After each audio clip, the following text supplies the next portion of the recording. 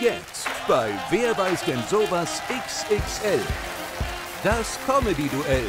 Mario Barth gegen Barbara Schöneberger. Bergdoktor gegen Bergretter. Hans Siegel gegen Sebastian Ströbel. Und das Gigantenduell. Dieter Hallervorden gegen Oliver Welke. Natürlich werden sie alle unterstützt durch unsere Teamkapitäne Bernhard Hoeker und Elfen. Und hier ist Kai Pflaume. Guten Abend. Guten Abend Ihnen zu Hause. Herzlich willkommen im Studio zu einer neuen, wer weiß denn sowas, XXL-Ausgabe mit diesen fantastischen Gästen, meine Damen und Herren, spielen wir heute Abend.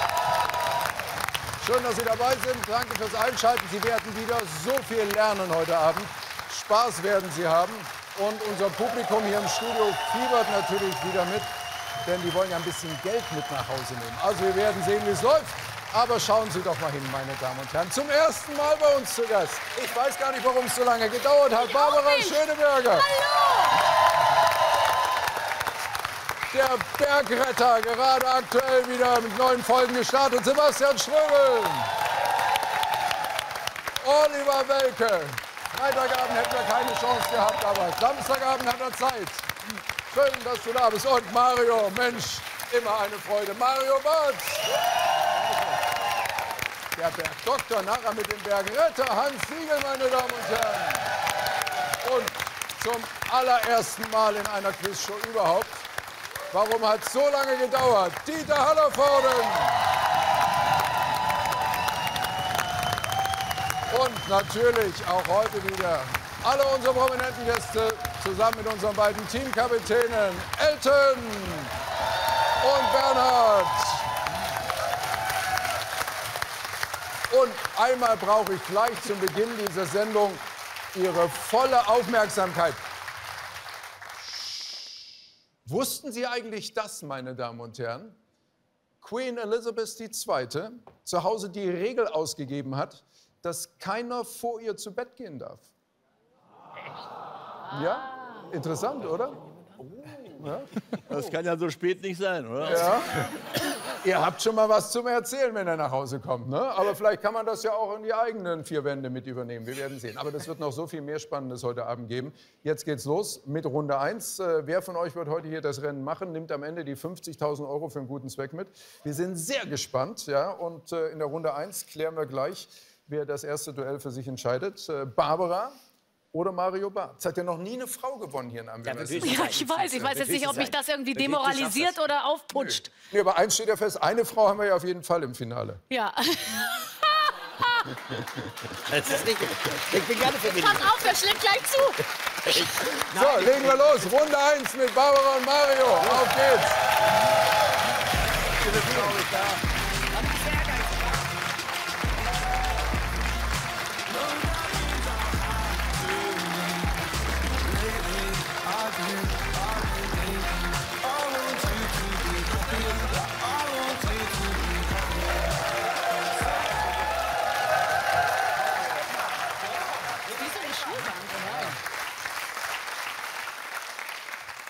Wird nicht einfach. Nee, das wird sowieso Aber auch nicht nicht schwer. Nee, das ist ja das Schöne in unserer schönen Sendung, dass Ja. man ja nie im Grunde wirklich, man muss ja nichts wissen. Nein. das ist schön, danke. Weil, die, weil diese, Danke. Fragen, diese Fragen sind so anders. Ne? Also kein Wissenstest hier Nee, bei uns. nein. Ne? Ein gutes Gefühl hilft B. manchmal. Gut. Bisschen früh. Haben wir eingeloggt. Aber erstmal schauen wir, wie wir viele B an, Zuschauer hinter B welchem Team sitzen. Also wie viele Zuschauer haben sich für welchen Teamkapitän entschieden? Sieht eigentlich gleich aus. Hinter Team Bernhard, fast gleich, fast gleich. Hinter Bernhard und in der ersten Runde Mario Barth sitzen 74 Zuschauer. Und hinter Elton und äh, in der ersten Runde Barbara Schöneberger 50. Lässt sich einfacher rechnen. Aber unsere sind schöner. Lief, lief wohl nicht so gut die Woche bei mir.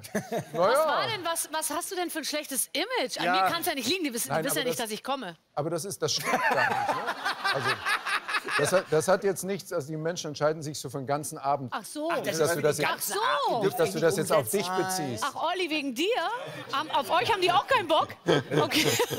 Aber wenn ihr gewinnt, dann kriegen sie ja mehr Geld. Das ist Ja, ja, klar, klar. Quantität, Qualität. Ja. Okay. Hier wird schon wieder mit harten Bandagen gekämpft. Wir werfen jetzt einen Blick auf die Kategorien in Runde 1. Hier ist unsere Wand. So.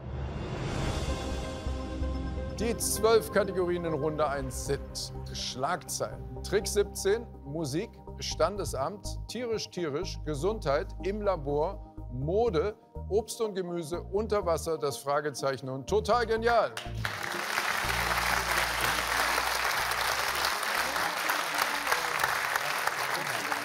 Äh, Trick 17. Gesundheit ist Medizin. Ihr dürft ja die erste Kategorie auswählen. Ihr habt ein paar nicht aus. Zuschauer mehr hinter euch. Aha. Jede Musik, richtige Antwort 500 Euro. Musik ist immer. Jedes Team hat einen Publikumsjoker. ich lasse mich hier nicht ablenken. Musik habe ich, äh, kann ich. Sag du mal. Mach mal Mode lieber. ist vielleicht wir, nicht das Richtige für euch. So, wir nehmen. Mode. Sag du. Mode. Jawohl. Oh!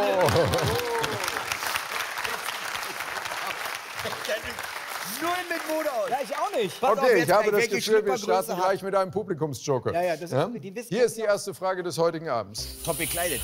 Welches Ziel verfolgte die 1881 in London gegründete Rational Dress Society? 81.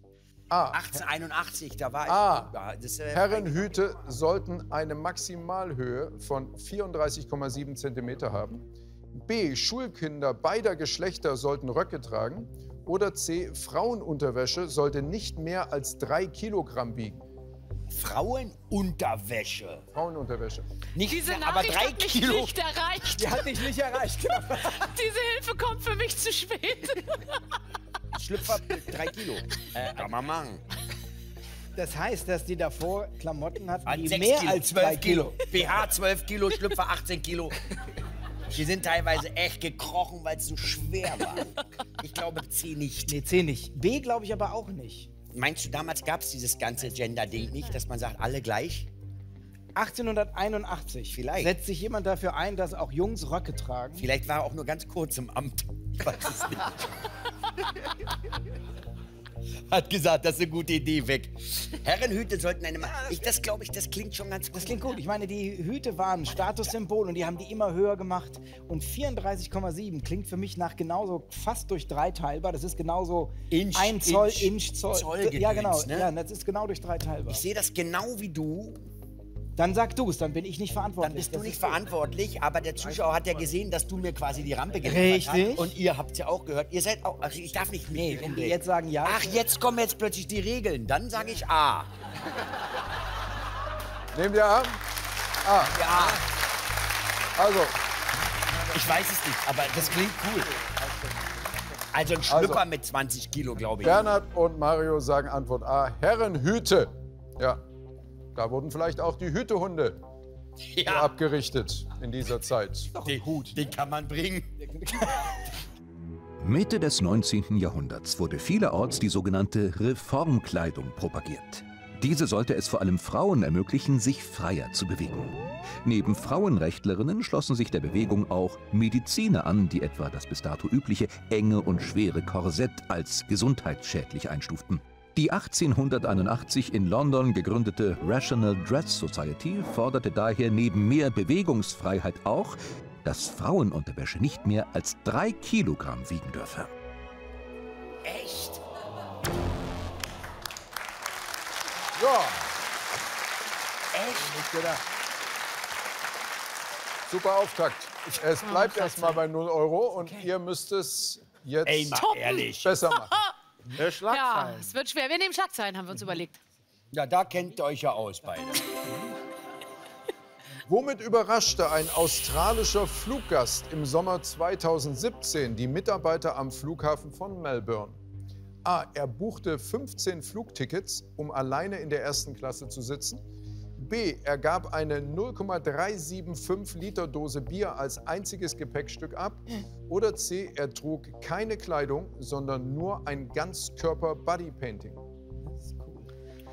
Ah, an dem Tag habe ich die Zeitung nicht gelesen. So. Ah Gott, ey.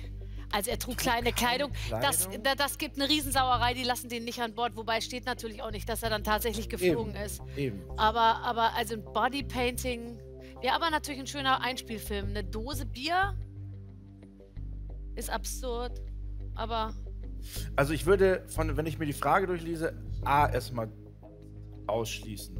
Weil, warum sollen Mitarbeiter am Flughafen über, die wissen doch gar Überrascht nicht, sein. die wissen Ja, doch du gar hast nicht, recht. wie viele Tickets der ja, ja, Wenn er jetzt im, hier Stewardess oder, oder ja. Pilot. Das ist gut, das, du hast recht.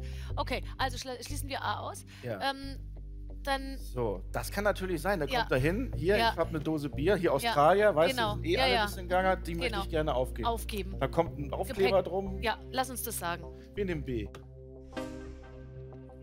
Guck mal, Man kann sich der Sache dann logisch bist du nicht nähern. schuld. Dann bist du Außerdem ist 0,375 unfassbar gut durch 3 teilbar. Ja!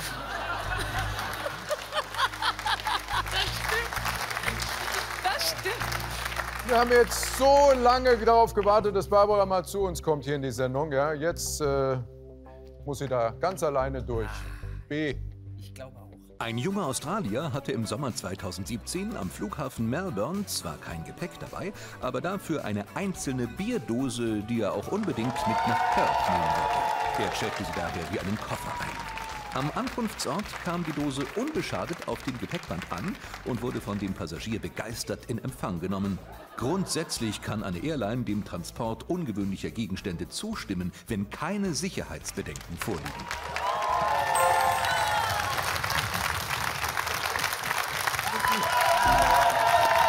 Die ersten 500 Euro.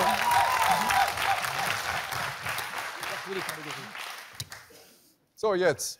Vielleicht jetzt. Vielleicht jetzt, äh, da, es hat ja noch nie eine Frau gewonnen.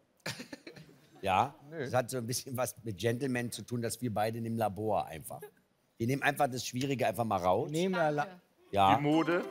wie Mode. Mode. Okay. Ja, jetzt Labor. Oder? Oder? Jetzt Labor. Hier ist Ach, die ist schon Frage. passiert. Was kann zu Tasten eines Keyboards umfunktioniert werden? Wir haben da mal was vorbereitet.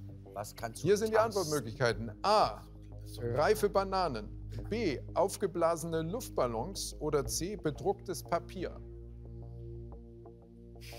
Ich verstehe die ganze Frage nicht. Gut, dass du sagst. Tasten eines Also stell dir vor, ein Keyboard. Ich habe zehn Bananen, die reif Ein- sind und denke. So, Angeschlossen an ein Keyboard, zum Beispiel. angeschlossen an ein Keyboard. Ja. Was kann die Tastatur eines Keyboards ersetzen? Falls die mal kaputt ist, Zum Beispiel. gehe ich in die Küche, hole 30 Bananen, schließe die dann mit dem Kabel, das ich zu Hause Genau. immer habe, an. Genau.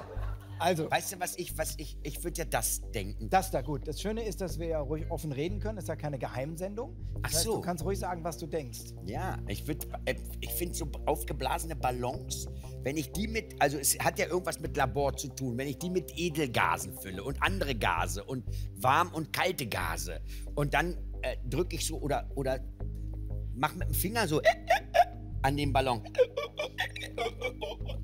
dass der Ele Elektronik, ich brauche ja letztendlich eigentlich nur, ach Quatsch.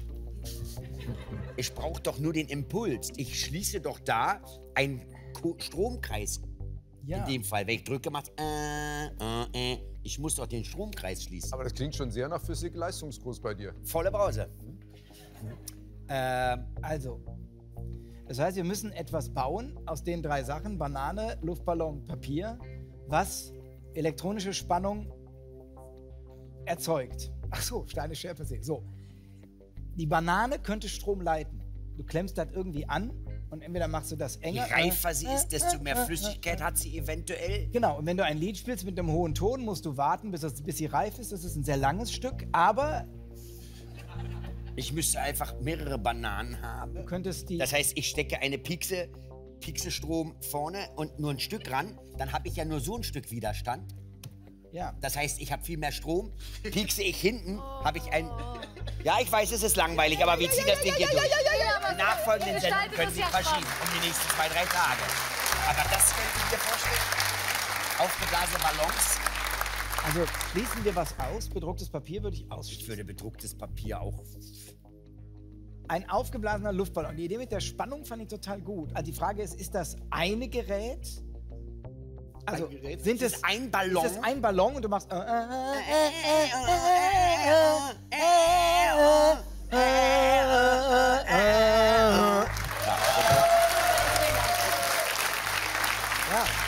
Ich habe eine Banane und muss immer. erst eine Banane, Eine da Banane. du tasten, also nimmst du Und ganz viele ich- Ich Bananen euch mit der Nummer schon auf Tour. Wir gehen damit auf Tour. Bernhard Open und ich, Air. wir werden Open Air, wir werden Olympiastadion Stadion füllen mit reife Bananen. Äh, äh, äh. Komm, Bernhard, du. Du hast null Punkte. Wieso?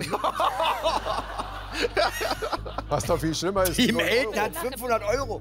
Team Bernhard, ich habe damit nichts zu tun. Hat 0 Euro. Ich bin mir im Moment auch nicht so sicher, dass sich das jetzt ändern wird. Also, Ein bisschen Lotterie, Sag weil mal. bedrucktes Papier, da, ich, wenn ich mir Jetzt sind wir wieder bei Papier. gebastelt wird, könnte ich es mir vorstellen. Vielleicht leitet ja Papier doch Strom, Nein. Nee, wenn du es dann übereinander legst. I don't think so. Auf Fall? Okay.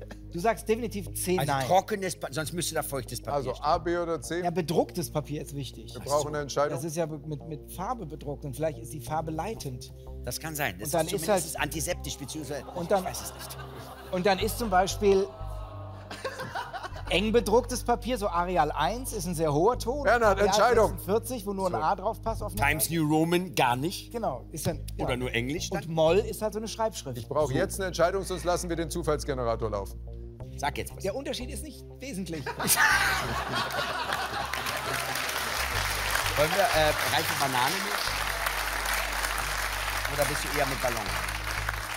Ich habe gar, ich hab gar keine. Lass uns das Publikum fragen. Die, das, dann sind wir raus aus der Nummer. Also wir haben, pass auf, wir haben gar keine Ahnung. Nein. Und vom Publikum gibt es vielleicht einen, der das gesehen hat, der das weiß. So, den Ahnung fragen hat. wir jetzt. Und wir sind nicht schuld. So, das ist viel wichtiger. Dass Also wir nicht fragen wir das. Wir nehmen das Publikum. Wir Ja, nehmen da das Publikum. Es reicht Ich ja einer. Es reicht ich ja einer, auch wenn viele stöhnen. Keine Ahnung. Hat irgendeiner einen Plan? So, wer, wer traut sich? Also, wir müssten echt raten. Ich stehe total auf dem Schlauch. Das heißt, wenn einer von euch rät, haben wir zumindest einmal raten. Du hast eine Brille. We- Wenig Haare. Zack, Brille Siehst- aus. Siehst einfach aus wie so ein Physiklehrer. Hat keiner. Hat keiner. Physik 4? Ich würde eine Banane nehmen. Nee, ich bin für Nee. die Zeitung, weil das. Du bist für die Zeitung? Okay, also ich glaube, in dem Falle muss ich sagen, Publikumsjoker weg, hier will keiner. Und jetzt müsst ihr euch für Dann sag du Papiermensch, dann sag entscheiden. doch Papier, Jetzt komm. müsst ihr. Auf geht's, Bernhard, sag Entscheidung. was. Ich bin raus. Ich weiß es nicht. Wir nehmen deine Ballons. Meine Ballons? B. Okay. Dann nehmen wir meine Ballons. Ich war für Banane, aber okay, wir nehmen meine Was für Ballons. Banane? Wir nehmen jetzt Ballons. für Banane. Ich war für Banane, aber wir nehmen Was für Ballons. Banane? Vielleicht ist Ein bisschen Ballon durcheinander hier gerade, aber wir kriegen das Banane, alles Ballon, wieder geregelt. B, B. Bernhard, So, jetzt gucken wir. B ist eingeloggt. Und wir werden das jetzt überprüfen. Wir werden das jetzt nämlich, wir werden das jetzt nämlich vormachen. Bananen. Ich hab sie da. Hab ich gesagt, Bananen. Herzlich willkommen, Markus Weber von den Physikanten. Hallo, lieber Markus, grüß dich. Ah.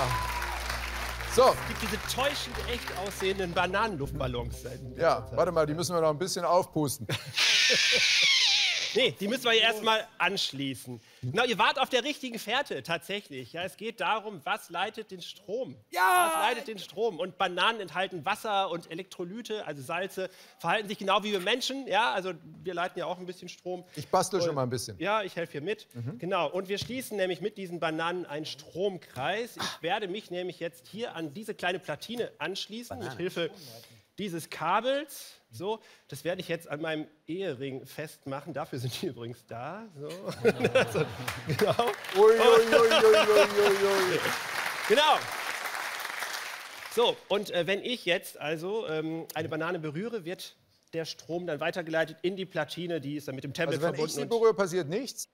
Nee, da passiert nichts. Weil ich bin ja nicht verbunden. Einmal Genau. im Laden. So, jetzt, wenn du jetzt, okay. Gut. Concentration, mesdames et messieurs. Nein.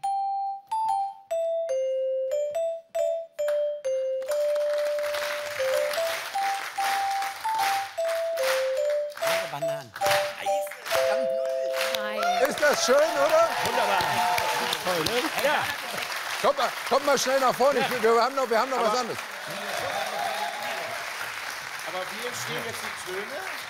Äh, die entstehen. Durch verschiedene. Barbara, Kabels den, den? Markus kannst du doch mit auf Tour nehmen. Der könnte dich doch dann immer am Bananen Und ich meine, Musik besteht ja auch nur aus fünf Tönen. Hey, das ist So, jeder. pass auf, komm mal nach Also vorne. das, die Töne hängen nicht von der Größe der Banane ab, oder? Nein, nein, nein, nein. Die Töne werden dann in dem Tablet äh, erzeugt. So und äh, man so die Platine, äh, genau, ja, die Platine erkennt, so, welche ne? Banane das So. ist und das Tablet macht dann den. So, nimm mal die Banane. Elton, komm mal hier rum. Ja. So. Oh, jeder nimmt jetzt seine Jeder Banane nimmt in die seine- Hand. Was, wo soll ich hin? Sag noch Man hat es mir ja so versprochen, aber dass es so schön wird. Mario D, genau. Achtung, Okay, und. Achtung. Oh Gott. Ich fange gleich an zu weinen. Oh, ist das schön. Achtung.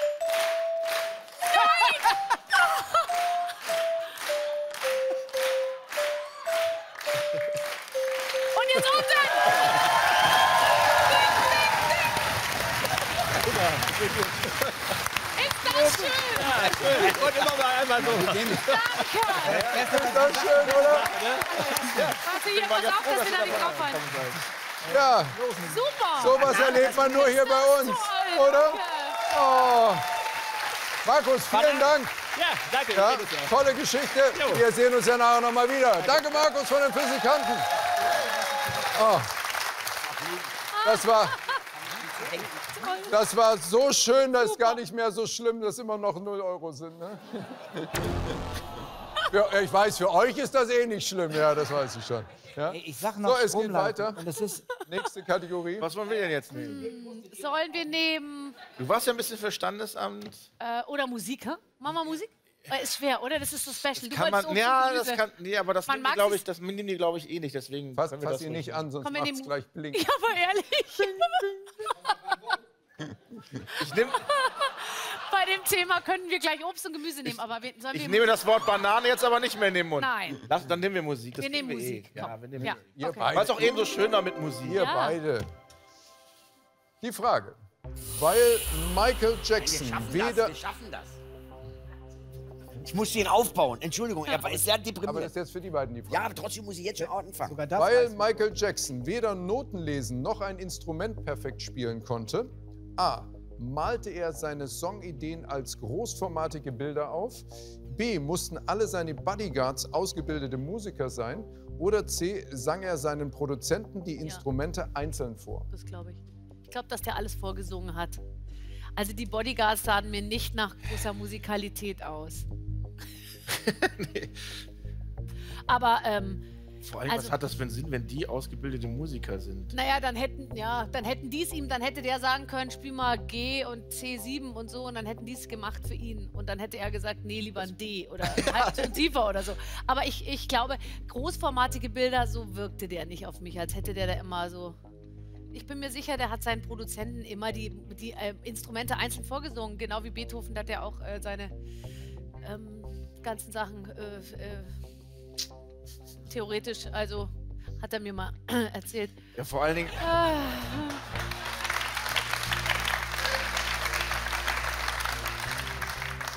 vor allen Dingen, wie soll er, was für ein Bild soll das sein? Wenn Ja. er Thriller Ja, ja, genau. oder hat er überhaupt, Nee, komm, das sind, ja letztes. auch, das sind ja auch keine Noten oder Ja, Höhen. wir machen C. Ich glaube, dass der gesagt hat, pass auf, hinten machen wir ding, ding, ding, ding, ding, ding, ding und vorne dam, bam, bam, bam, bam, bam und dann ding, ding, ding. Aber das ist mir zu simpel. Komm, Antwort C. C. Wie soll ich kann ja auch, ich kann mich auch nicht wehren. Ich kann mich ja auch nicht wehren. Wir hängen ja gleich die Bilder um. Team Barbara. Schon zu Zeiten der Jackson 5 wurde alles auf Michaels wichtigstes Instrument gesetzt, seine Stimme. Und obwohl er keine Noten lesen konnte, war der King of Pop in der Lage, seinen Musikern und Produzenten die Songarrangements so vorzusingen, wie er sie sich vorstellte. Akkorde, Noten, Rhythmus, all dies entstand in Michaels Kopf.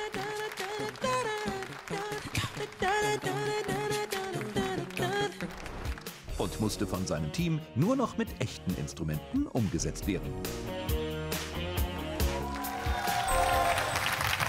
Richtig.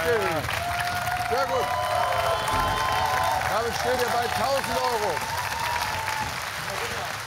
Also wir würden Trick 17 nehmen. Ja.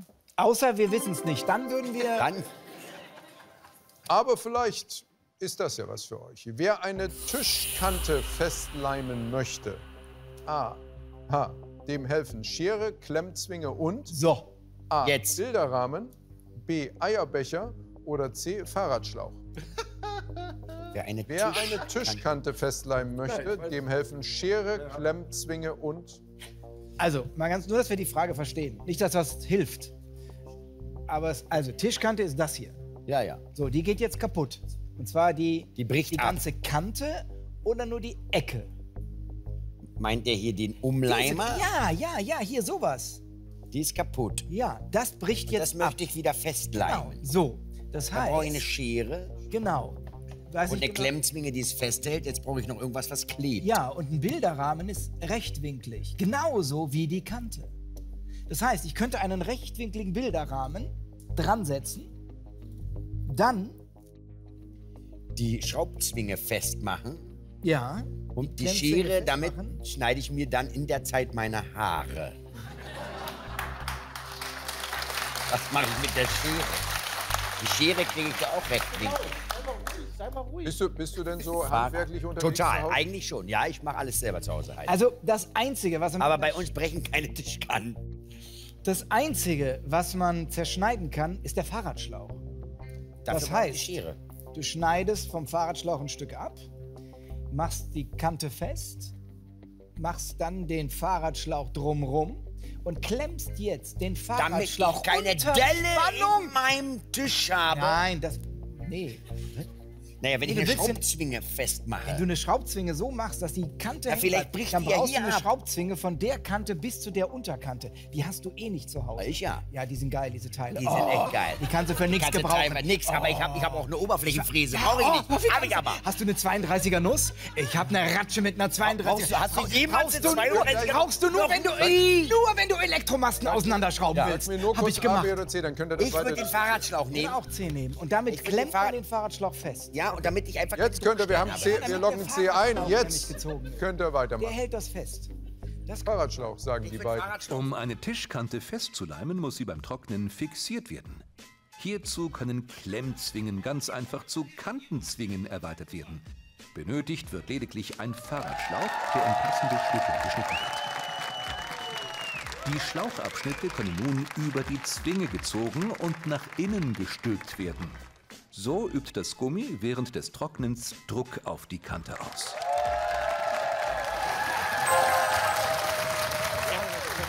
Also, also, also quasi genauso, wie ihr es erklärt habt. Ja, genau, drum das, festmachen. das war übrigens keine Begeisterung, eben dieser Applaus, das war pure Erleichterung. Ja. Von uns Die genauso. 500 Euro. Von uns doch auch. Bis jetzt hast du immer eigentlich gut gewählt. Standesamt, meinst du?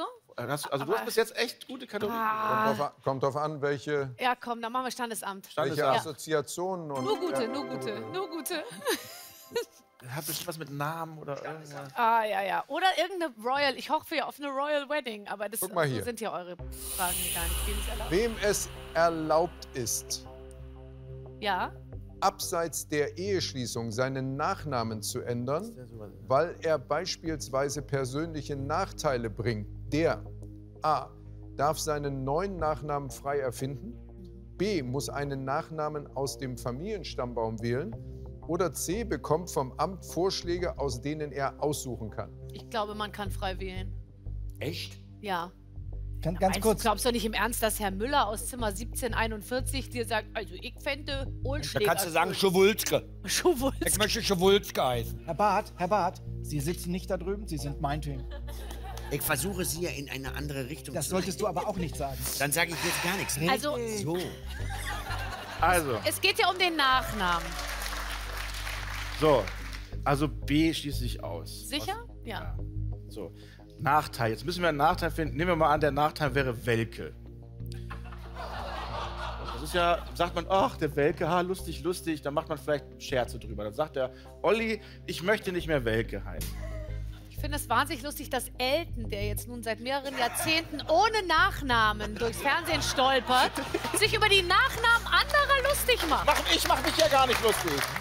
Ich nenne das nur mal als Beispiel. Also, Wenn man doch mal wüsste, wie du heißt. also ich, fänd, ich finde jetzt Welke überhaupt keinen problematischen Es sei denn, man ist ja, also Gärtner. wenn man einen problematischen Namen hat, dann okay, pass auf, ich wollte es vermeiden. Dann was? Dann was?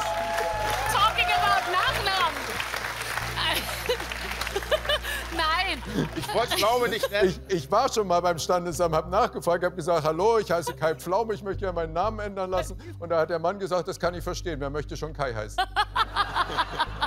also, also ich glaube, dass der Mann, also dass das Amt einen Vorschlag macht, das kann nicht sein. Das ist ab- albern. Du darfst dir deinen Nachnamen frei erfinden. Also kann das tatsächlich, kann sich den Nachnamen wahrscheinlich Ja, wir sagen A. Wir sind durch, danke, Herr Pflaume. So, A ist eingeloggt. Ihr sagt, man darf seinen Namen frei erfinden. Wer seinen Nachnamen unabhängig von Hochzeit oder Scheidung ändern möchte, da er beispielsweise persönliche Nachteile bringt, kann einen Antrag beim Standesamt stellen. Dabei darf der Antragsteller den Namen laut Allgemeiner Verwaltungsvorschrift zum Gesetz über die Änderung von Familiennamen und Vornamen frei wählen. Ausgedachte Namen sind grundsätzlich erlaubt. Jedoch werden auch diese vor Genehmigung einzeln auf einen möglichst komplikationsfreien Alltagsgebrauch geprüft.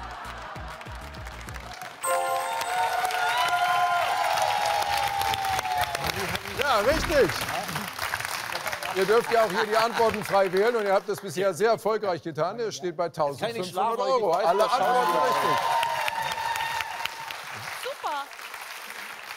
Das ist ja geil, hätte ich nie gedacht. Hätten wir auch falsch gehabt. Hätten wir auch falsch gehabt einfach. Dann sind wir jetzt äh, für total äh, Genial. genial. Ja. Und jetzt ist Tisch Fuß. Eben war Kante, jetzt kommt Jetzt ein Fuß. Ich dachte, das auch, hat auch was mit Physik zu tun, ne? Welches praktische Hilfsmittel lässt sich aus vier Bleistiften und drei Gummibändern bauen? A. Halterung für einen Tablet-PC. B. Wasserwaage zum Ausrichten von Bildern. Oder C. Nussknacker für diverse Nusssorten. Langsam.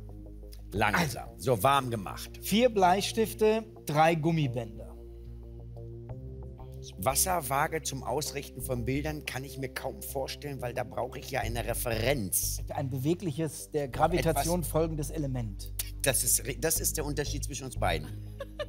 Dass du das äh, super in der Definition Ja. kennst. Aber du weißt, was du gesagt hast. Ich habe mich selber nicht verstanden. Richtig aber. Halterung für einen Tablet-PC. Es könnte zum Beispiel sein, dass du drei Bleistifte nimmst und mit zwei Gummibändern zu einer Rolle verbindest. Den vierten Bleistift steckst du aufrecht hinten rein und machst oben ein kleines Gummiband, also ein Gummiband drum, damit es sich nach rechts und links sich verschiebt. Dann stellst du den, das Tablet-PC, den Tablet-PC, den, das, Das, Gerät, dem Gerät. stellst du dann in dieses Dreier-Element, was nicht verrutscht und wird durch den anderen gehalten. Nussknacker Ja, lass uns mal. für diverse Nusssorten. Ich habe vier. So. Wir machen die unten zu. Jetzt haben wir diese. So, das ist unsere Idee, ne? Und dann halt, dann drücke ich so fest. Und dann drückst du immer da, wo, der, der Nuss, wo die Nuss ist, machst du. Und der Gummi, Das da, das, dem Gummi, das Gummi, der Gummi, das Regional- Gummi. Kommt drauf an, wofür du es verwendest.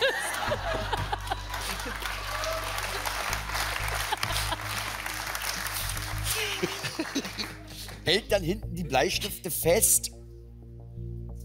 Und dann äh, Halterung für ein Tablet-PC kriege ich bestimmt mit vier Bleistiften und drei Gummis hingebastelt. Aber Also unten ein, ein Dreieck vorne. Und an allen drei Ecken machst du ein Gummi dran. Und an das oben noch ein Bleistift, der nach hinten zeigt, der das nach hinten abstützt. Und dann legst du den dagegen. Und die Gummibänder sorgen dafür, dass es nicht wegrutscht. Aber dann habe ich doch einen Bleistift. Da Ja, damit es eben nicht umkippt. Du hast drei, du hast. Aber das du hast, Du hast einmal das. Und So. das liegt auf dem Boden So, nee, nee, nee, das liegt jetzt so. Jetzt brauche ich von So. dir noch einen, ich brauche von dir noch einen Finger. Kriegst du. So, und diesen Finger, ja genau, so, zack, so steht das jetzt. Und da, da, Dann mache ich hier ein Gummi, Da. zwei Gummi, drei Gummi. da, und da, da, Drei da, Gummi. da sind drei Gummis.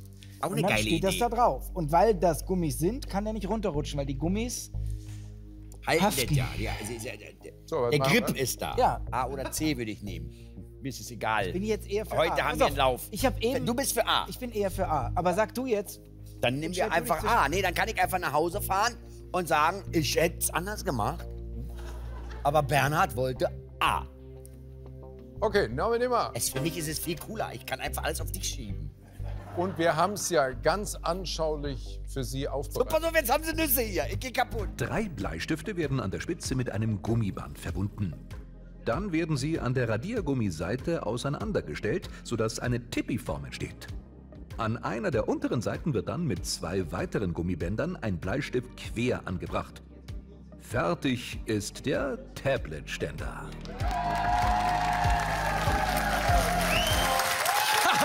Trotzdem erleichtert.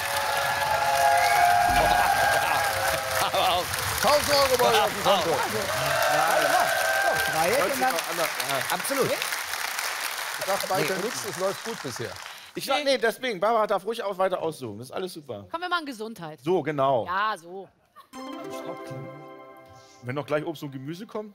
Wer über mehrere Tage heilfastet, A. hört Töne in hohen Frequenzen schlechter, Hat Hunger. B. bekommt einen gelb-orangen Hautton oder C. riecht allmählich nach Nagellackentferner. Also, ähm, ehrlich gesagt, erscheint mir Letzteres nicht, dass ich mit Fasten in irgendeiner Form überhaupt nicht mein Thema. Aber ich könnte mir vorstellen, dass es C ist, weil Aceton ist ja, na, also Nagellack ist Aceton, Aceton ist Säure und Säure wird, glaube ich, man macht ja immer Heilfasten, um, also um basisch zu werden, um säurelos zu werden. Und äh, deswegen könnte ich mir vorstellen, dass Nagellackentferner ist vielleicht ein bisschen hart, aber Aceton oder also in irgendeiner Form Säure wird man sicher los, wenn man wenn man irgendwas los wird in dieser Zeit. Ähm, Ja, so, ah, hört Töne in hohen Frequenzen schlechter. Was, was, kann warum? auch, warum, ja. Weil, Bekommt einen gelb-orangenen Hautton, ja, man sieht gesünder aus auf jeden Fall. Und du trinkst viel von diesem gelben Tee wahrscheinlich oder so, keine Ahnung. Kenn's auch nicht. Meltons Bruder heißt übrigens Aceton.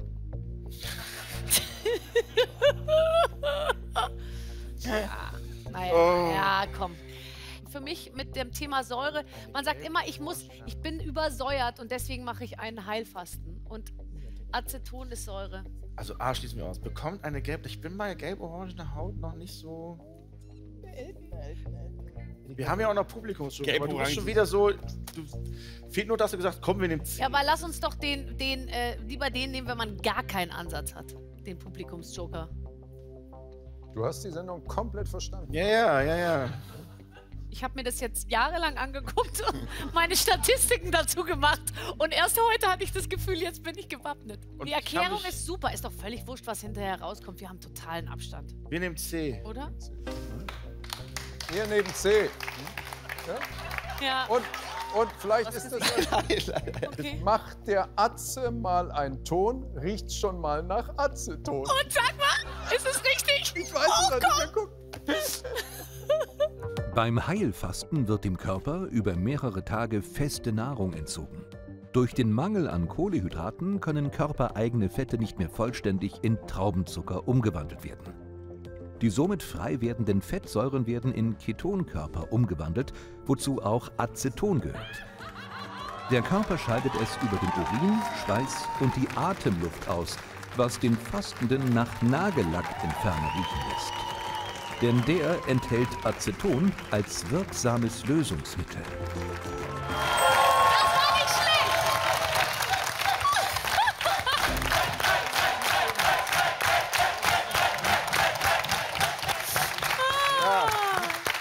Also, ich, kann hab gehen. ne- ich brauche hier gar nicht mehr mitmachen. Komm mal alleine. Freunde, ich kenne mich aus. Ich kenn mich Du aus. bist, du bist viel zu schlau fürs Fernsehen.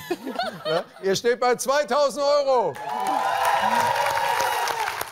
Wow. So, bitte. Hier hat aber einer richtig Bock. wir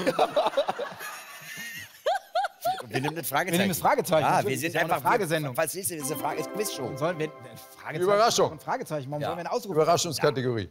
Wenn die ganze Geschichte der Erde in einem Jahr dargestellt werden würde, a. wären die Dinosaurier zur Sommersonnenwende ausgestorben, b. gäbe es bis zum 4. Oktober kein Leben auf der Erde oder c. würde der Homo sapiens fünf Minuten vor Jahreswende Europa besiedeln. Sag mal, Mario, sonst wissen die Leute nicht, worauf du gezeigt hast. Also ich persönlich würde C nehmen, glaube ich, weil man, ich habe mal ein Buch gelesen. Zack.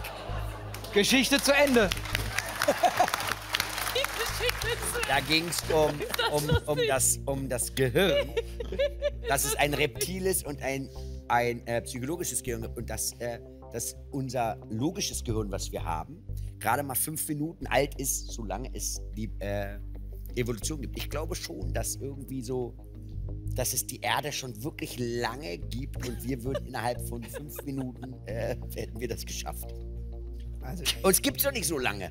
Also die Erde ist 4,6 Millionen Jahre alt, glaube ich. Man kann das ja ausrechnen. 4. Oktober ist, du teilst 4,6 durch 4 mal 3 und dann weißt du, nach wie vielen Millionen Jahren wir sind am 4. Oktober. Hätte man erst nach drei Millionen Jahren Menschen auf der Erde. so Lebewesen. Lebewesen auf der Erde. Das heißt aber, Drei Millionen Jahre Nee, gab es das gar ist völliger nichts. Quatsch. Der Dinosaurier nein, nein, nein, und diese ganzen. Sind, nein, nein, das kann nicht mehr als, weil der, die Dinosaurier sind 40 Millionen Jahre alt und wenn die Erde 4,6 Millionen Jahre alt wäre, hätten die Saurier 36 Millionen Jahre im Die Erde ist Weltraum gelebt. 4,6 Millionen Jahre alt, die Dinosaurier 40. Ja, ja, eben, deshalb, das kann nicht sein. Das kann nicht sein, weil dann hätten die eine Weile im Weltraum Aber es ist durch drei teilbar. Ja, genau, die hätten. Ja, ja, nein, nein, nein. 4,6 Milliarden. Ich habe mich doch schon korrigiert. So, 4,6 Milliarden. Das heißt, nach drei Mil vor einer Milliarde Jahre ist das erste Leben entstanden. Und ich glaube, das war kürzer.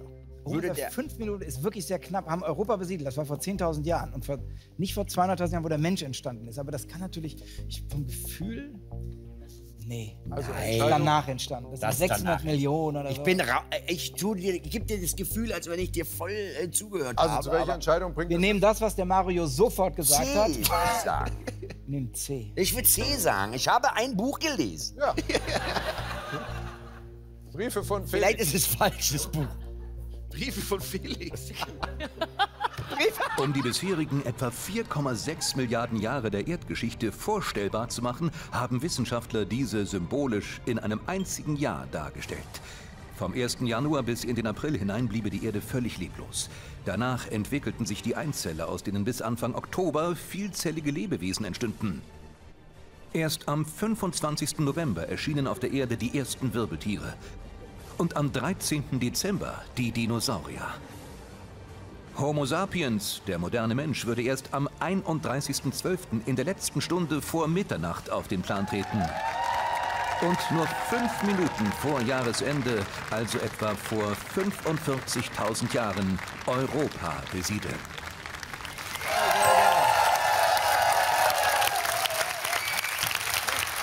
Wenn man Bücher liest. Nee. Hey, da hätte der nicht so lange rummachen müssen. Ne? nee. Nein. So, es steht bei 1500 Euro. Bleiben dran. Bleiben dran. Ihr müsst. Ja, ja, die bleiben dran. Ihr müsst konzentriert bleiben. Tierisch, tierisch. Ein Bison Ach hat im Vergleich zum gewöhnlichen Hausrind. Wir haben da mal was vorbereitet.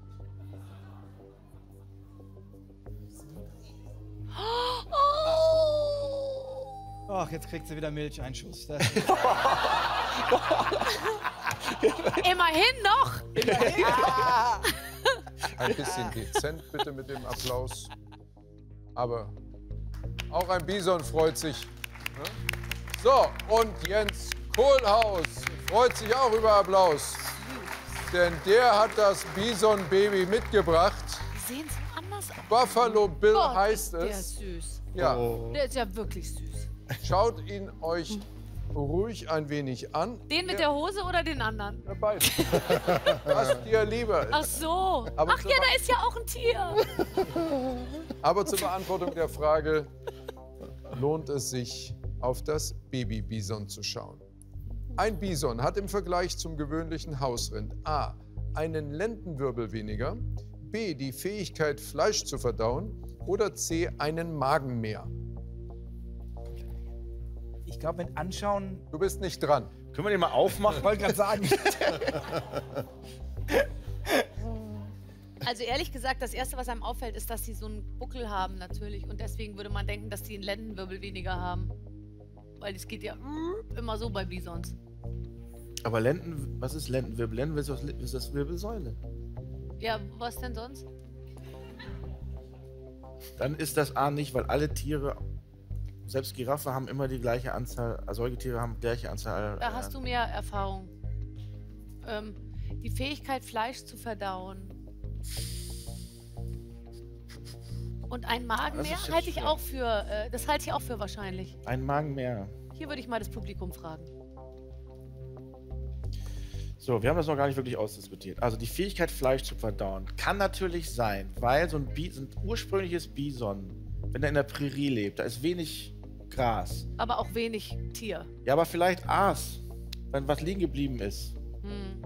Vielleicht kann er das fressen und dann tatsächlich auch verdauen. In der Natur muss ja alles einen Sinn haben. Warum hat das einen Magen mehr? Da muss es ja eigentlich noch mehr fressen. Oder? Den Magen mehr hat es vielleicht, um mehr Lebensmittel speichern zu können für die lange Zeit in der Steppe.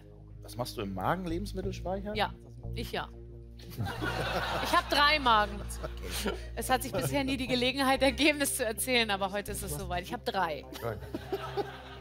Was wollt ihr denn machen? Publikum fragen? Ja, komm, oder? Okay. Ja, nehmen wir, nehmen wir das Publikum. Ah, oh, jetzt- du bist jetzt, you're ja. not convinced. So, jetzt nehmen wir nee, ich hätte B Publikum. genommen. Okay. So, wir, ja, sag ich doch, da hat sich schon jemand geklatscht, hä? gemeldet. Ja, hier. ja, ja, steh, steh Aufstehen, ruhig ja. auf. Wenn, wenn, ja, ich komme zu dir, ich komme zu dir. Oh, Sehr gut. das ist immer gut. Hallo. Hallo. Wie heißt du? Tanja Hallo, Tanja. Es ist immer gut, eine Bison-Expertin hinter sich zu wissen. Tanja, wo kommst du her? aus Braunschweig. Jetzt nicht unbedingt die Bison-Hochburg. Nein, das ist richtig. Hast du schon mal Erfahrung mit Bisons gesammelt? Ja, in der- Beruflich? Mhm. Ja, wirklich. Ja, in der Bedienungstheke. Und ich bin der Meinung, Moment mal, das musst du kurz zum erklären. Verkauf. Als wir Bison verkauft haben, als Steak. Ah! Hinterher. Bison-Steak. Ja. Okay. Und ich glaube, es ist A, der Lendenwirbel. Wo, woraus, woraus ziehst du diesen Glauben? Ich habe das irgendwo noch im Hinterkopf, dass mir das mal gesagt wurde. Also es ist ein Also- tiefer, ein überzeugter Glaube an A. Wäre, wäre auch mein Impuls gewesen, weil sie anders aussehen. Die gehen ja hinten so ein bisschen runter. Wir gucken Ja, mal. ja. Wir lösen mal An auf. der Theke, als ihr das Bison als Steak verkauft habt. Ich weiß nicht, ob Buffalo Bill das jetzt gerne hört. So, jetzt, äh, Jens, grüß dich. Herzlich willkommen hier bei uns. Hallo. Da hat er gezuckt eben, ne? Ja? Wie, wie alt ist Buffalo Bill jetzt? Der ist 14 Wochen alt. So, 14 Wochen. Wie, wie kommt das, dass der jetzt äh, bei euch lebt? Also ihr habt ja ein- einen Hof in Mecklenburg-Vorpommern. Genau, wir halten ganz viele Großexoten. Da haben wir dann Kamele und Büffel und Bisons und Elche und all sowas. Und der ist jetzt bei uns abgegeben worden, weil die Mutter gestorben ist. Wir nehmen sowas auf und ziehen das dann auf. Ja, Wie groß wird er mal? Oh, der wird riesig groß. Das ist ein Bulle. Ja, und äh, gibt drei Bisonarten. Das gibt den europäischen Bison, den Wiesent, den Waldbison, der wird bis zu zwei Meter im Rücken hoch. Und das ist der Präriebison hier, ein bisschen kleiner, aber fast eine Tonne schwer nachher. Wow. Und wie lange dauert das, bis der so groß gewachsen Das ist? dauert sehr lange. Bis Jetzt frag doch mal die entscheidende Ja, ja, das Frage. kommt ja jetzt. Barbara. So, jetzt aber äh, zur entscheidenden Frage. Ja, Antwort ist A. A, das ist oder ziemlich genau. Niemals. So, er hat tatsächlich einen Wirbel weniger. Genau. Und woran liegt das, dass wir auch diese Information noch mit nach Hause nehmen? Ja, die haben einen Lendenwirbel weniger. Das ist anatomisch bei denen so genauso wie bei den Yaks. Die, haben auch, die können sich auch anders vorbewegen, fortbewegen als unsere Rinder. Die ziehen die Beine ja, Ziehharmonikaartig vorne und Hinterbeine zusammen. Wahnsinnig schnell, ne? Und dadurch können die dann wesentlich schneller laufen und wesentlich schneller sprinten. Die haben auch eine größere Lunge und können schneller als ein Pferd und das stundenlang laufen. Ja, hat man Also sind eben 50 Stundenkilometer Ja. Genau. um diese Ja, ja. schnell laufen. Genau. Also, wir haben es geklärt. Ja, vielen Dank für den Besuch. Alles Gute. Und ich weiß nicht, ob er noch mal wiederkommen kann, wenn er ausgewachsen ist. Ich glaube, Wir dann wird es schwierig. Wir ne? wollen mal gucken. Ja? Danke, Danke, Jens. Kai. Dankeschön. Alles Gute für euch. Ciao. Komm. Jens Kohlhaus. Guck mal, so schnell ist er raus. Süß. Buffalo Bill. So, das war wieder richtig. Ja, dank des Publikumsjokers. Und damit steht ihr bei 2500 Euro. Sehr gut. Huiuiui. Alle Fragen bisher richtig beantwortet. Und jetzt geht es so langsam auf die Zielgerade für diese Runde. Wir haben noch Obst und Gemüse und unter Wasser. Wenn im Unterwasser. Tauchschein, hast du einen Tauchschein? Überhaupt gar nicht.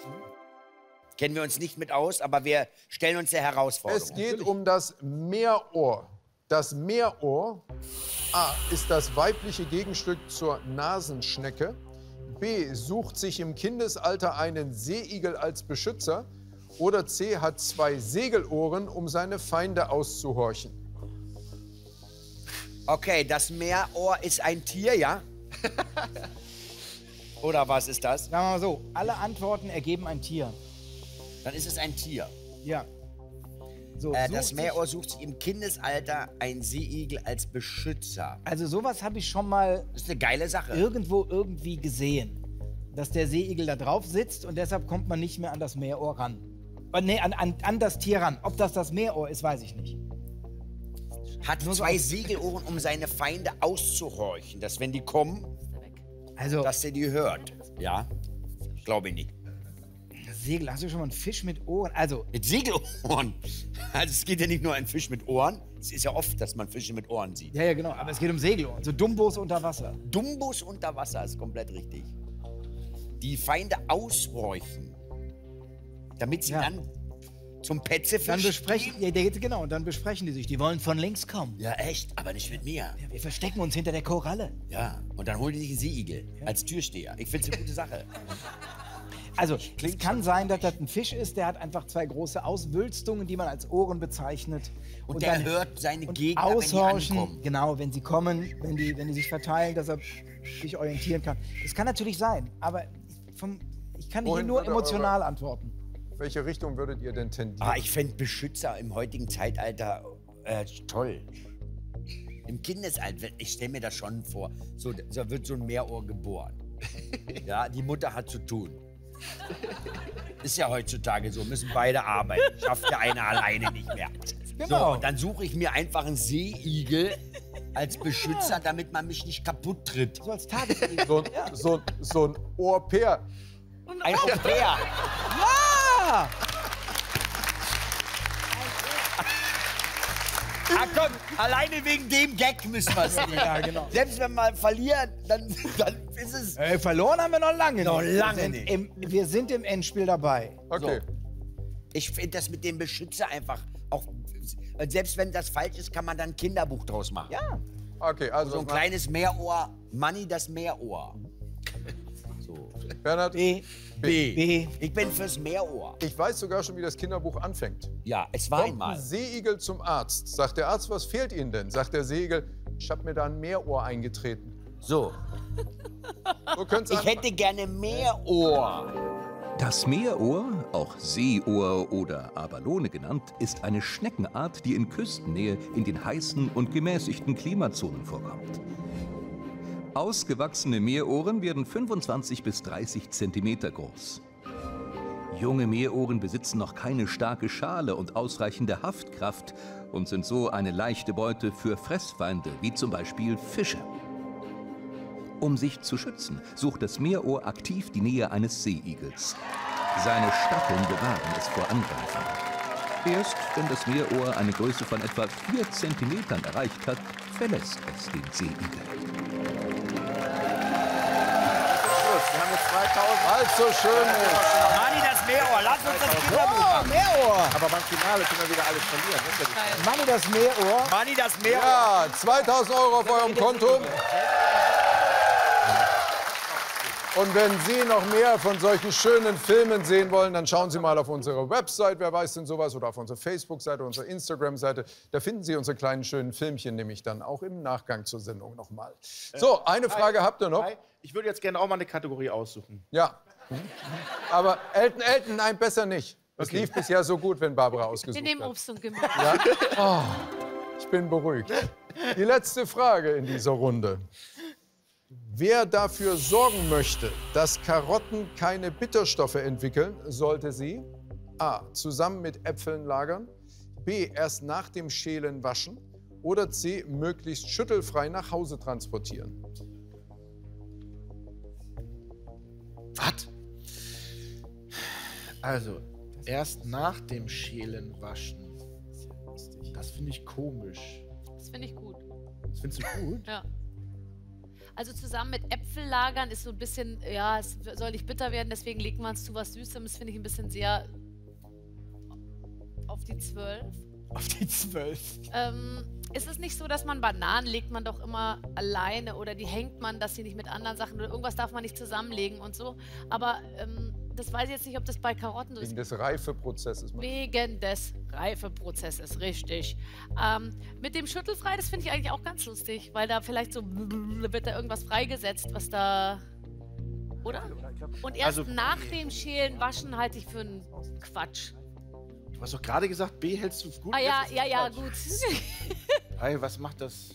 ähm, na, nach dem Schälen, Waschen, äh, also wenn, dann ist ja die Problematik in der Schale, oder? Keine Ahnung. Also nee, ist sie nicht. Äh, Oh, ich glaube auch eher, dass das in der Schale ist, weil äh, ich, also zumindest habe ich das Gefühl, wenn ich die Karotte schäle, ja, sie schmeckt sie süßer als mit Schale. Richtig, Also macht doch B ja schon mal keinen Sinn.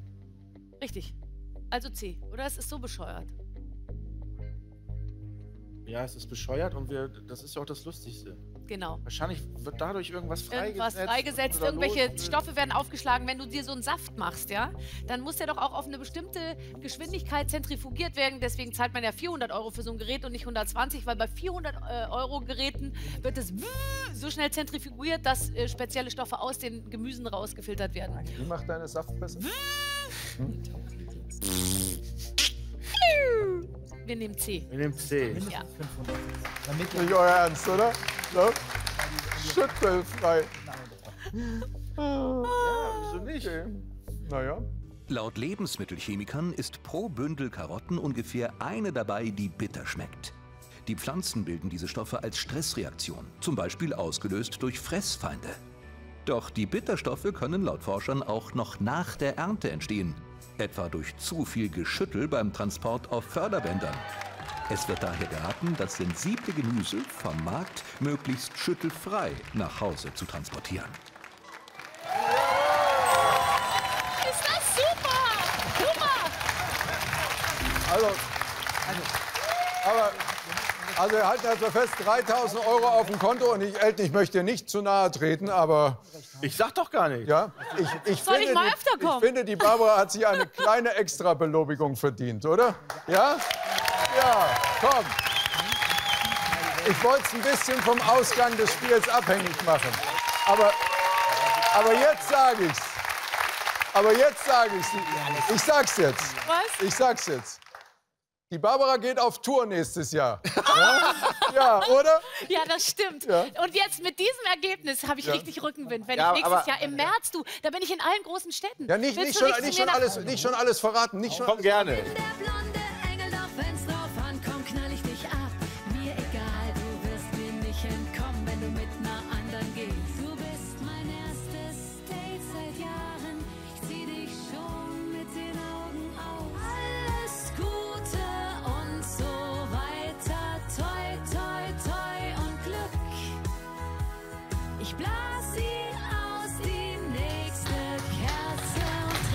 Ah, ich lade euch alle ein!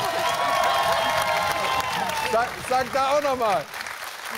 Ja, einfach kommen! Im März ist es soweit! März nächsten Jahres! Das wird ein Spaß!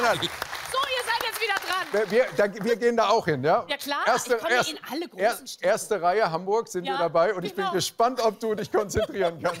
Das wäre schön! Könnt ihr So. singen? Eben nicht. Nein, Eben. aber wir könnten mit den Bananen. Okay.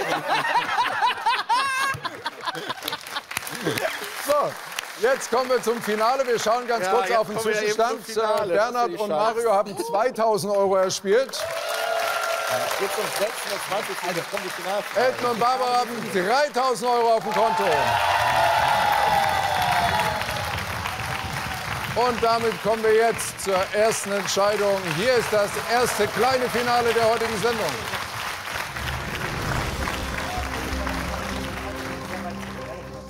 So, und die Kategorie, aus der die erste Masterfrage kommt, ist Literatur.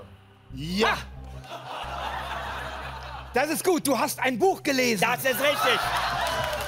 Das ist komplett So, richtig. ihr Ich hab müsst jetzt bitte setzen. Sind wir auf jeden Fall. Haben wir dann gewonnen, genau. Das ist sicher. Lief gut heute. Ich habe ein gutes Gefühl. So, Barbara und Elton haben schon gesetzt. Wir haben 10.000 Euro gesetzt. Jetzt haben wir 20. Wir haben jetzt 20. So, Ja, beide, beide Teams haben ihren Einsatz gemacht. Hier ist die heutige erste Masterfrage. Welcher Roman wurde mit Julia Roberts in einer der Hauptrollen verfilmt? A. Die Jury, B. Die Firma oder C. Die Akte. Ihr habt 20 Sekunden.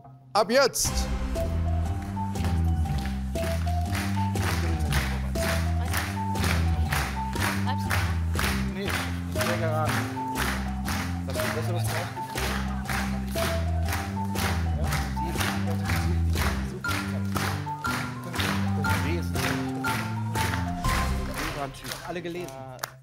So, beide Teams haben einen Betrag gesetzt und darauf schauen wir zuerst. Bernhard und Mario haben gesetzt. 2000 Euro erspielt und 1000 Euro gesetzt.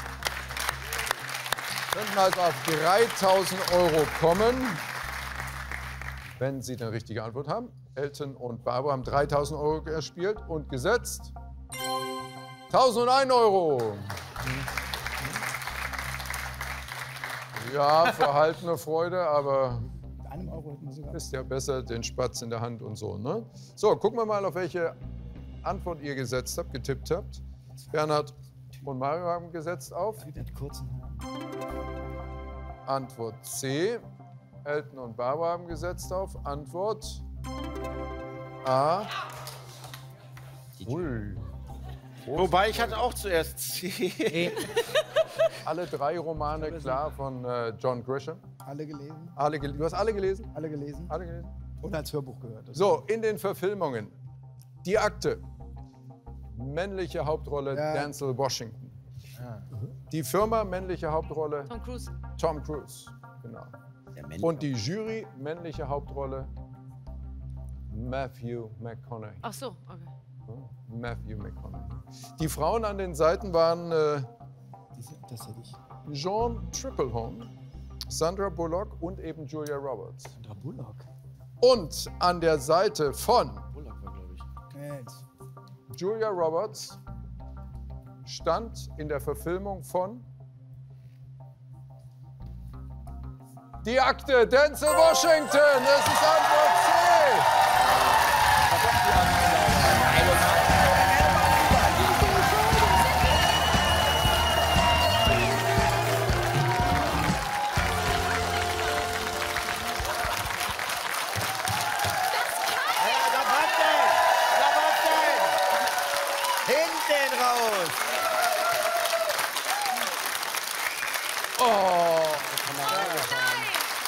damit gewinnen Bernhard und Mario diese Runde mit 3000 Euro auf dem Konto. Lass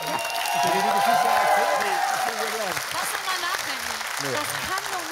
Das. Aber wie ja. kann man sich denn mit so wenig Wissen so, äh, so durch diese Das kann ich dir, hier das kann ich dir sagen, Das Barbara. nennt man, nicht. das kann ich nennt man. Effizienz, Barbara. Das Im ist richtigen, Effizienz. du musst das wenige Wissen ja, im richtigen paff. Moment nutzen. Verstehst du? Das, ist, das wussten die Oh Leute. nein. Aber- Waren Das muss 25 ich Jahre. sicher. Ihr wisst das einfach. Ich war mir zu unsicher. Sonst hätte ich mich durchgesetzt. Ich habe keine Filme gesehen. So muss natürlich, muss natürlich sagen, dass du, jetzt, äh, dass du jetzt so abgefangen wurdest, quasi auf der Zielgeraden, ist ja schon schlimm genug. Aber ist jedes kommende Treffen mit Mario Barth, ja, Wird ein Stich in mein. Also war früher schon schlimm, aber jetzt wird es noch schlimmer.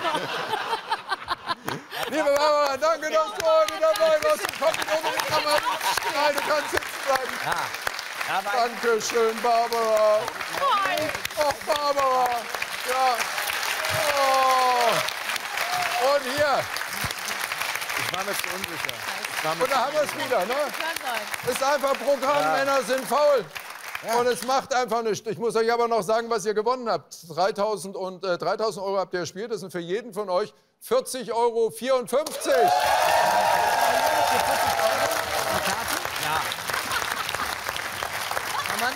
So, Mario.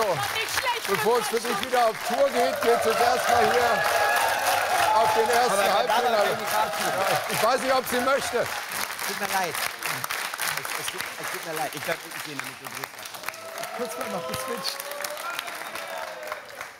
Es tut so weh, Ich weiß. gegen jemand wie dich zu Ja. verlieren. Da fragt man, da fragt man die Frau Furtwängler. Die ist, die ist heute noch sauer, glaube ich. Oh Mann, echt. Was mache ich denn jetzt? Ich gehe einfach. Ich, Lernen, ich werde lernen. eins mit Nein, dem Fußboden. pass auf, pass auf, nein, pass auf, pass auf. Du bleibst, du, du bist doch auch beim Fernsehen. Du bleibst einfach hier stehen. Ja. ja? Kriegst jetzt nochmal einen Applaus und wir verlieren dich dann einfach im Kamerabild.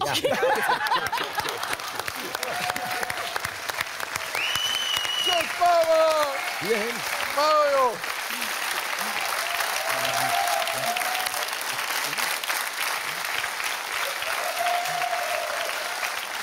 So, der erste Platz im Halbfinale ist besetzt. So. Und bei uns geht's direkt weiter mit Runde 2. Gleich bei Wer weiß denn sowas XXL. Dieter Hallervorden gegen Oliver Welke. Und jetzt in Runde 2 Hans Siegel gegen Sebastian Ströbel. Meine Damen und Herren, Hans Siegel und Sebastian Ströbel in Runde 2. So, viel Spaß, viel Erfolg.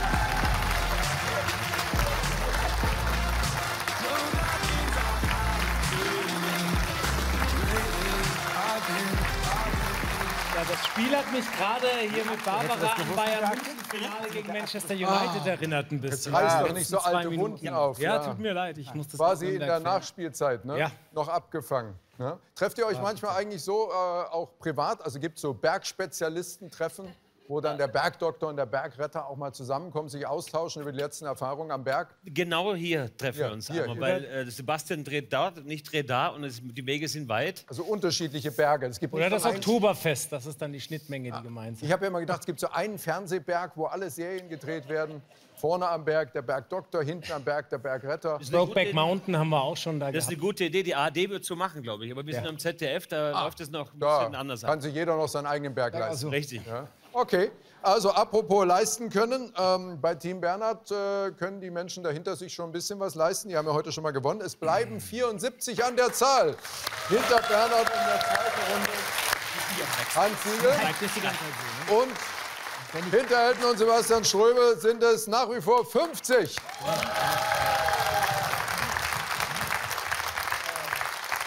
Und mit neuem Mut, neuer Energie und neuer Lust geht's jetzt in Runde 2. Hier ist unsere Wand. Die zwölf Kategorien in Runde 2 sind damals, was passiert, wenn andere Länder, andere Sitten, unser Körper im Grünen, das Fragezeichen im Labor, Neuheit, Essen und Trinken, Papiere bitte, tierisch, tierisch und Schlagzeilen. Genau Ihr dürft wieder die erste Kategorie auswählen, da wird sich nichts dran ändern. Ja, Du fängst immer an, Ja, Bernhard? wir ja fangen nee, weil mehr Zuschauer da Achso, aha, verstehe, verstehe, verstehe. andere Länder, andere Sitten. Das war das Letzte, was ich genommen hätte. Ja, deshalb habe ich mich Sehr ja geil. mal jetzt vorgedrängelt. So, Aber eine sehr schöne das ist Frage. immer schön. Die Videos sind schön, die Bilder sind bunt. Womit gelingt es Japanern, Wasser zu sparen? Dein Oh Gebiet. ja, So, genau, Da Japaner. bist du zu A. Spülmaschinen, die nur durch ein trockenes Heißgebläse reinigen.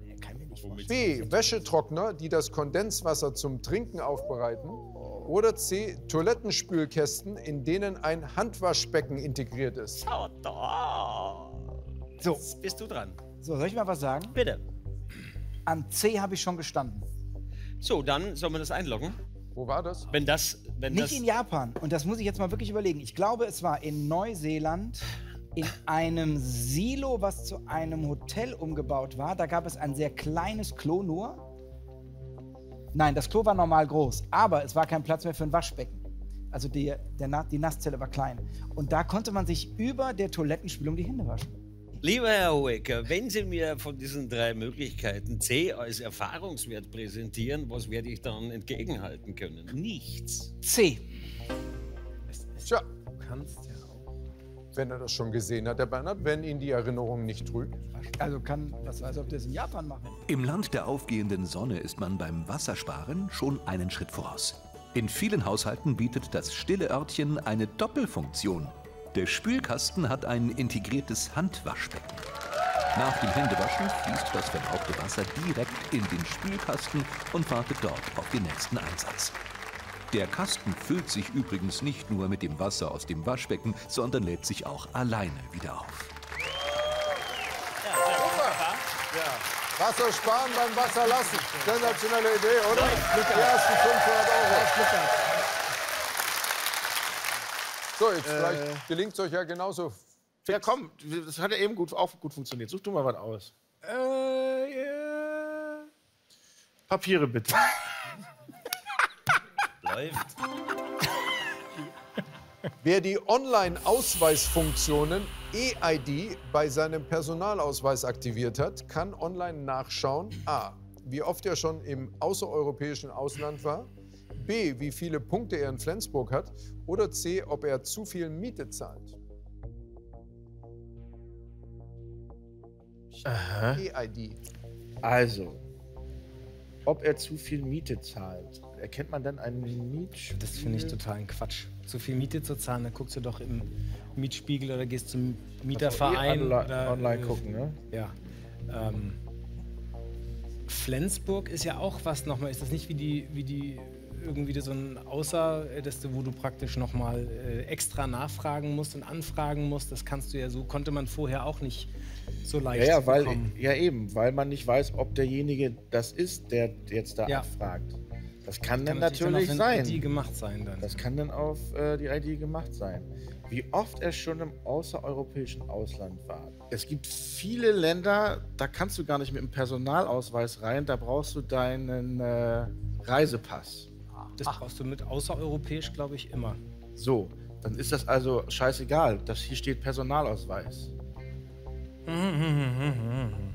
Und wenn ich meinen Personalausweis auf Online aktiviert habe, dann bringt mir das nichts, wenn ich meinen Reisepass nicht auf Online-ID eingepackt habe. Müsste dann macht, kann ja nur B sein. Flensburg sein. Nehmen, wir- ja, also sind wir uns ja jetzt. wollen Ja, wir- würde ich. da- Auf, Dann nehmen wir, wir nehmen B. Nee, B. Was würde bei euch denn da rauskommen, wenn ihr in Flensburg anfragt? Nach der neuen Rechtschreibung oder der alten? Wir haben mal Antwort B festgehalten. Und äh, fragen Sie mal an in Flensburg, weil wenn Sie wirklich null Punkte haben, dann kriegen Sie so einen schönen Aufkleber. Ich habe null Punkte in Flensburg. Bereits bei der Beantragung eines neuen Personalausweises kann die Online-Funktion E-ID eingeschaltet werden. Mit dem dazugehörigen Lesegerät kann dann im Internet einfach und zuverlässig die Identität nachgewiesen werden. Zum Beispiel gegenüber Behörden oder Banken. Auch das Rentenkonto, sein Führungszeugnis oder der Punktestand in Flensburg können online abgerufen werden. Jawohl, richtige Antwort. Damit auch bei euch die ersten 500 Euro. So, beide Teams gut ins Spiel reingekommen. Nächste Kategorie. So, jetzt bist du dran. Ich würde Mode nehmen, wenn es da wäre. Aber es ist leider schon weg. Vielleicht ist es ja hinter dem Fragezeichen. Herr Weiß, möchtest du das Fragezeichen? Wenn du es möchtest, möchte ich es auch, mein Lieber. Ah, ich, hinter deinem Fragezeichen verstecke ich mich gern. Na, dann lass uns doch das Fragezeichen nehmen und Mm. dahinter kuscheln. Ja. Wir nehmen das Fragezeichen. Ja. Wieso jetzt schon das Fragezeichen? Es ist, glaube ich, nicht die Kategorie Mode. Okay. Mit der Hilfe der sogenannten Parkettierung fanden Mathematiker der University of Liverpool heraus, wie a. Autos jeder Größe perfekt eingeparkt werden können, b. jede runde Pizza am gerechtesten geteilt werden kann oder c. Rucksäcke am rückenschonendsten gepackt werden. Sehr, sehr geil. Also, die Paketierung hat, glaube ich, nichts mit dem Rucksack zu tun, weil wie man einen Rucksack rückenschonend packt, ist Orthopädie und hat nichts mit Parkett zu tun. Die Paketierung, ich glaube, das Paketierungsproblem ist, du hast eine gegebene Größe von äh, Parkettelementen und wie viele Möglichkeiten gibt es, diese auf, einem vorgegebenen, auf einer vorgegebenen Bodenfläche zu legen oder zu optimieren. Mhm. Also naheliegend wäre natürlich die Art, dass man denkt, alles muss Parkett, du, im Parkett gelegt werden. Ich glaube aber, dass die Frage der runden Pizza genauso eine ist wie die Das ist Urfrage. ein mathematisches Problem. Ja. genau. Aber ich, ich stolper nur über die Parkettierung, über den Namen Parkettierung. Ja, ja. Über die sogenannte Parkettierung. Das Parkett. Ich, also es geht, es um Fischgrät.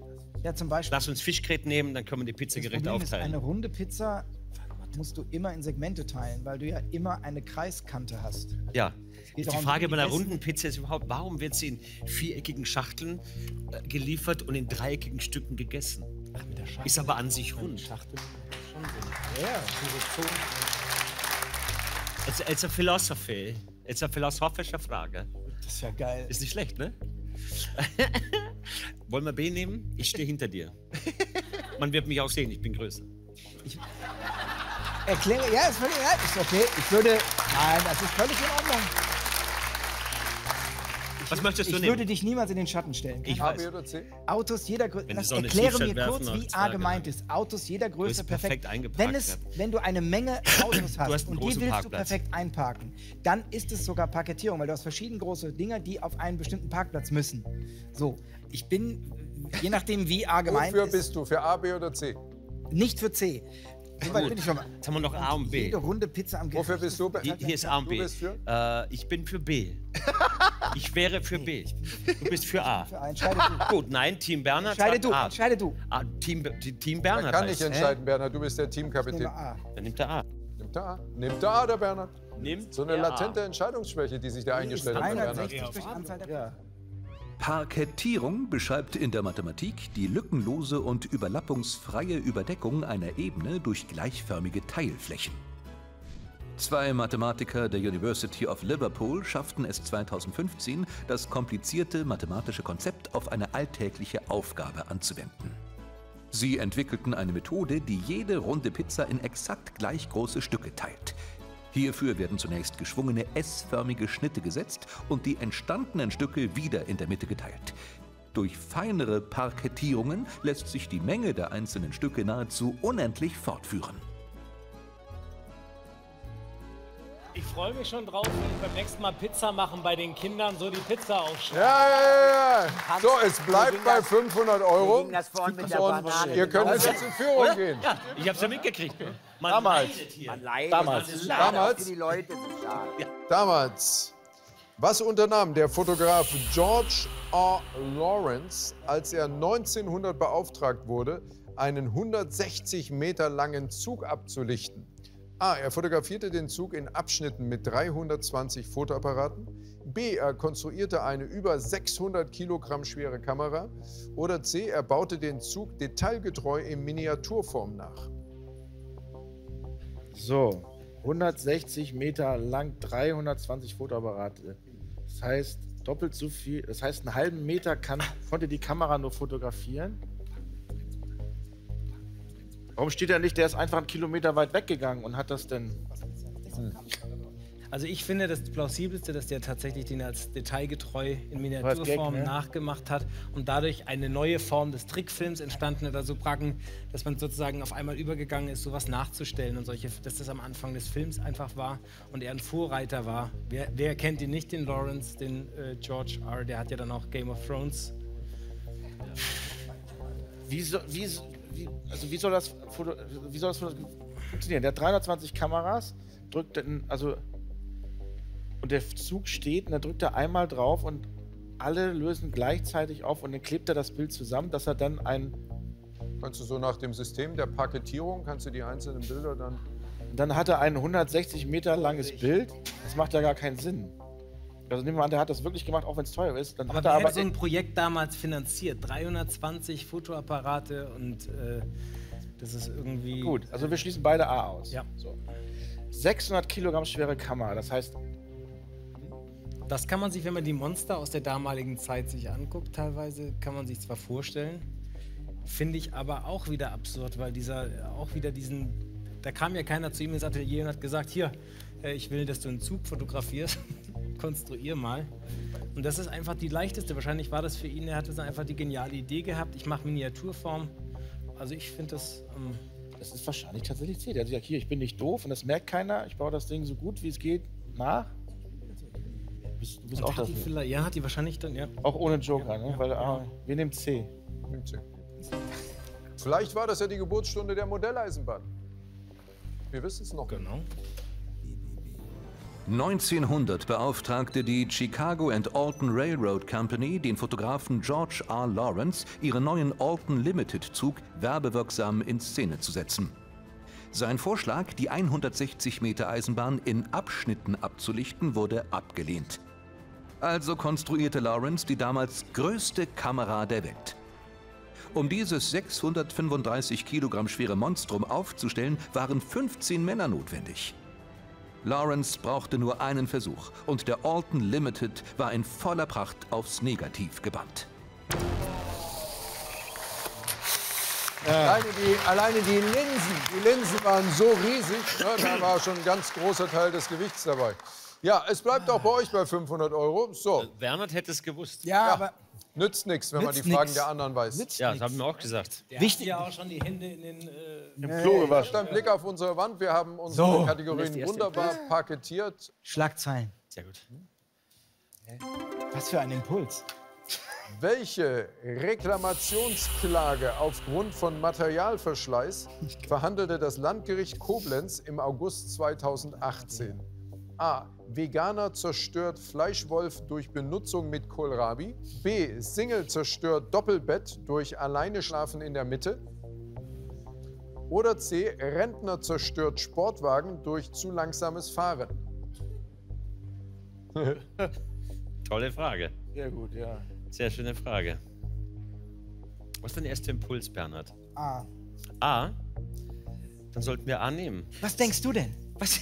Ich habe dich jetzt gefragt. Du Richtig, ich denkst A. habe auch schon geantwortet. Ja, Was und denkst da gehe ich, da gehe ich, äh, das, ist, äh, das macht vielleicht jetzt am meisten Sinn, weil durch einen, einen Sportwagen, durch langsames Fahren zu zerstören, halte ich für nicht so wahrscheinlich, außer du fährst mit dem langsamen Sportwagen durch ein äh, geschlossenes Fenster. Ein Single zerstört Doppelbett durch alleine schlafen in der Mitte, kann man nicht zerstören. Aber wenn man Kohlrabi durch einen Fleischwolf dreht, da könnte unter Umständen etwas passieren. Merkst du, ich krieg schon den Tonfall von dem Sprecher vom Film. Wenn der Veganer den Fleischwolf, dann hat man rausgefunden, dass der Fleischwolf durch den Kohlrabi. Ich bin ganz bei dir, wir nehmen A. Du hast nach meinem ersten Impuls gefragt. Das Den nehmen wir. Was willst du jetzt so lange diskutieren? Es ist alles drei Könnt, ihr könntet noch das Publikum fragen. ja, eben, deshalb. Meinem Impuls folge ich heute ni- äh, jetzt, jetzt nicht mehr. Mit dir sowieso nicht. Weil du bist sofort dahinter und du kontrollierst mich ja überhaupt nicht. Pass mal auf, Bernhard. Ich bin ein Es- durchgehendes mein Pferd. lieber Bernhard, und du bist es war heute Publikum, schon nimm mal schon mal das so, Publikum. Es war es sogar Herr Barth hat gesagt, er möchte sich ich gerne muss darüber mal ganz setzen. kurz hier ein bisschen Hand auf. Das liegt vielleicht nicht an den Gästen. Ja, Jetzt kommst du mir so? Ich habe ja schon so einige, ich habe ja schon so einige zerstrittene Paare wieder zusammengeführt. ja stimmt. Das habt ihr doch nicht so. So, schön, ihr beiden. Ja. Ganz ruhig. Wir nehmen das Publikum. Wir nehmen das Publikum. Bisschen durchschnaufen. Ja, Weißt schön du? in den Schmerz reinatmen. Ja. So, wir fragen das Publikum. Oh, es gibt Hoffnung. Das Einzige, was es kompliziert macht, sie sind wirklich gleich. absolut zeitgleich aufgestanden. Aber du weißt, Ja, du ja. weißt es, ne? Ja, ja. Zwei Stück, Ja, zwei wir sind nehmen ihn, du bist, du bist Bernhard. Ich habe ihn zuerst gesehen, aber nur weil er vorne steht und das Licht länger braucht von hinten. Das ist der einzige Unterschied. Äh, Ich würde den Herrn hier vorne. Also nehmen wir den Herrn hier Musst vorne. du auch nicht so lange Vielen laufen. Dank. Wir, wir wissen, dass Sie es auch gewusst hätten. Ja? So, hallo. Keine Ahnung. Aber ich fand es gut und jetzt wir nehmen. Christopher, Aha, woher kommst du? ich komme aus Reetz. Das liegt zwischen Lübeck und Travemünde. War ich noch nicht, aber ist schön. Ja. Lohnt sich mal hinzukommen? Fünf Minuten bis zur Ostsee. Ja, das ist ja wunderbar. Ja. Perfekt. Was machst du beruflich? Ich komme zufällig aus der Autoteilebranche. Ah. Und, aber ich meine, das hilft ja jetzt nur bedingt. Man müsste ja was davon gelesen haben, was da passiert ist vor dem Gericht. Man sagt ja auch immer, kauft dir bloß kein Rentnerauto. Die fahren dann immer hm, durch die Gegend und so weiter und dann kaufst du so ein Auto und dann ist es auch schnell mal durch mit dem Thema. Also ich muss sagen, ich bin jetzt gerade aktuell mit einem über 100-jährigen Mann Auto gefahren. Da kann man von untertourig nicht sprechen. Ja?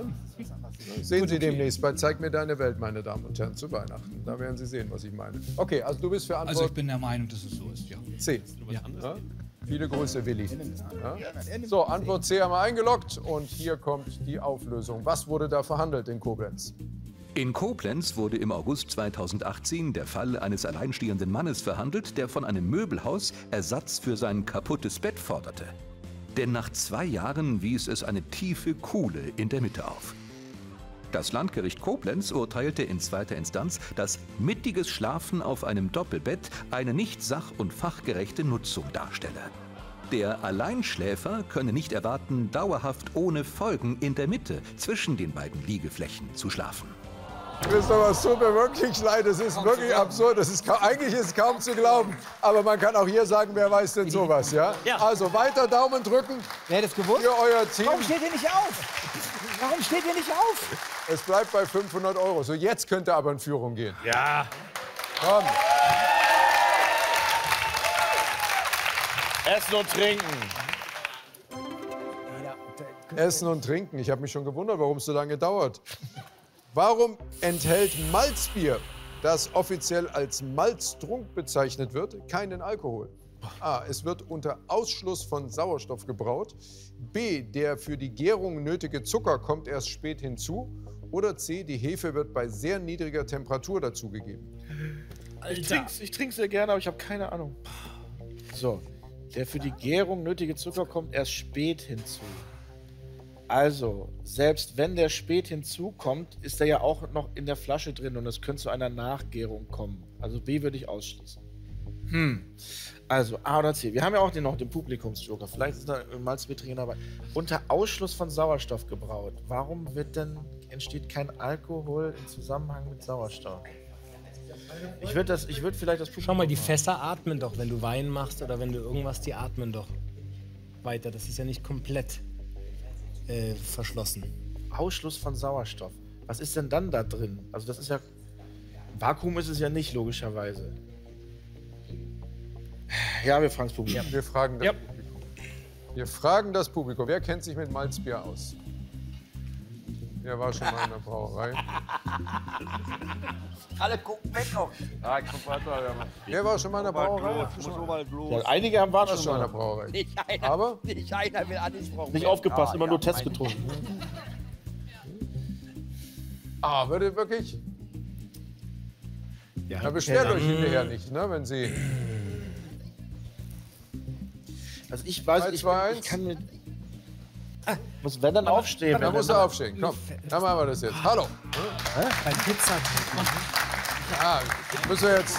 Da, kommen, das, da gehen wir jetzt zusammen an. Also, Ja. du heißt? Laura. Laura, grüß dich. Woher kommst du? Ähm, von Norderney. Okay, aus von der schönen Nordseeküste. Habt ihr eine Brauerei auf Norderney? Nee, haben wir nicht. Also ja, aber ja, haben wir. Die ist illegal oder warum? äh, Nein, aber nee, die ist nur ganz klein und ja, So, okay. Und du warst schon mal in der Brauerei, hast du gesagt? Okay, wo war das? in Jever. Aha. Gut, was hast du da gesehen, Laura? Ähm, also ich glaube, es ist B. Du glaubst, es ist B. Ja, Der nötige Zucker kommt erst spät hinzu. Ja. Okay. Gut, dann schauen wir es uns an. Wie läuft's mit dem Malzbier? Weil während der Herstellung auch Zuckerzusätze erlaubt sind, darf das Erfrischungsgetränk nur unter dem Namen Malztrunk verkauft werden. Der Brauprozess unterscheidet sich allerdings kaum von anderen Bieren.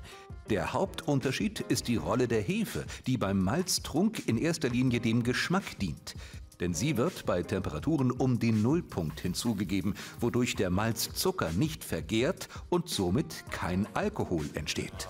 Ja, dann Ah, nein!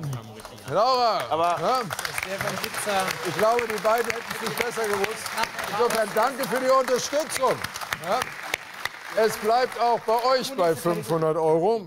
So, jetzt aber Männer Gas geben. So, jetzt geht's los. Du, und du nimmst jetzt eine Kategorie und redest. Wir haben jetzt euch die Chance gegeben. Bam! Aber gut. Kategorie? Was passiert, wenn? Richtig, wir nehmen Was passiert, wenn. Yes. Was passiert, wenn parallel zur Tischplatte an einer Geschenkbandrolle gezogen wird? Wie? So. A. Die Rolle rollt in Zugrichtung. Nein. B. Die Rolle bleibt an ihrem Platz. Ja. Oder B. Die Rolle rollt entgegen der Zugrichtung. Vielleicht auch. Wir haben die Antwort. Hast du schon die Antwort gesagt? B. Es ist ja nicht mehr so lange hin bis Weihnachten. Darf ich mal probieren? Ja, gib mal her. Zeigen das gleich? Es kommt, glaube ich. Guck mal, es gibt ja mittlerweile, ich meine, wir haben ja unsere Wer weiß denn sowas App, also die ARD Quiz App, da kann man ja wunderbar hier in dieser Sendung mitspielen und auch allen anderen Quiz-Sendungen. Wir haben das äh, Wer weiß denn sowas Buch. Es gibt Wer weiß denn sowas jetzt als Computerspiel und jetzt auch als Geschenkband. Und als Praline. Ich tippe Ja. auf C. Ja. Denn, Ja. wenn du am Band ziehst, rollst du innen das, also mit der Geschwindigkeit, Ziehst mit der du das, das unten an und ziehst. dann rollt sich das so, aber sie liegt auf einem größeren Rad und auf diese Art und Weise bekriegst du eine Übersetzung. Also innen drin hast du einen kleineren äh, Radius als außen. Das heißt, du ziehst mit einem kleinen Radius ziehst du dran, aber mit einem großen Radius rollt sie quasi entgegen der Zugrichtung. Deshalb würde ich auf C tippen. Faszinierend, Captain. Aber Ich würde auch zur Antwort C kommen, allerdings äh, mit anderen äh, Mitteln Nämlich? als mit dem Radius. Ich glaube, es geht um die kinetische Energie, welche sich in eine Vektorenrichtung entwickelt. Das Alter, was ist denn hier los?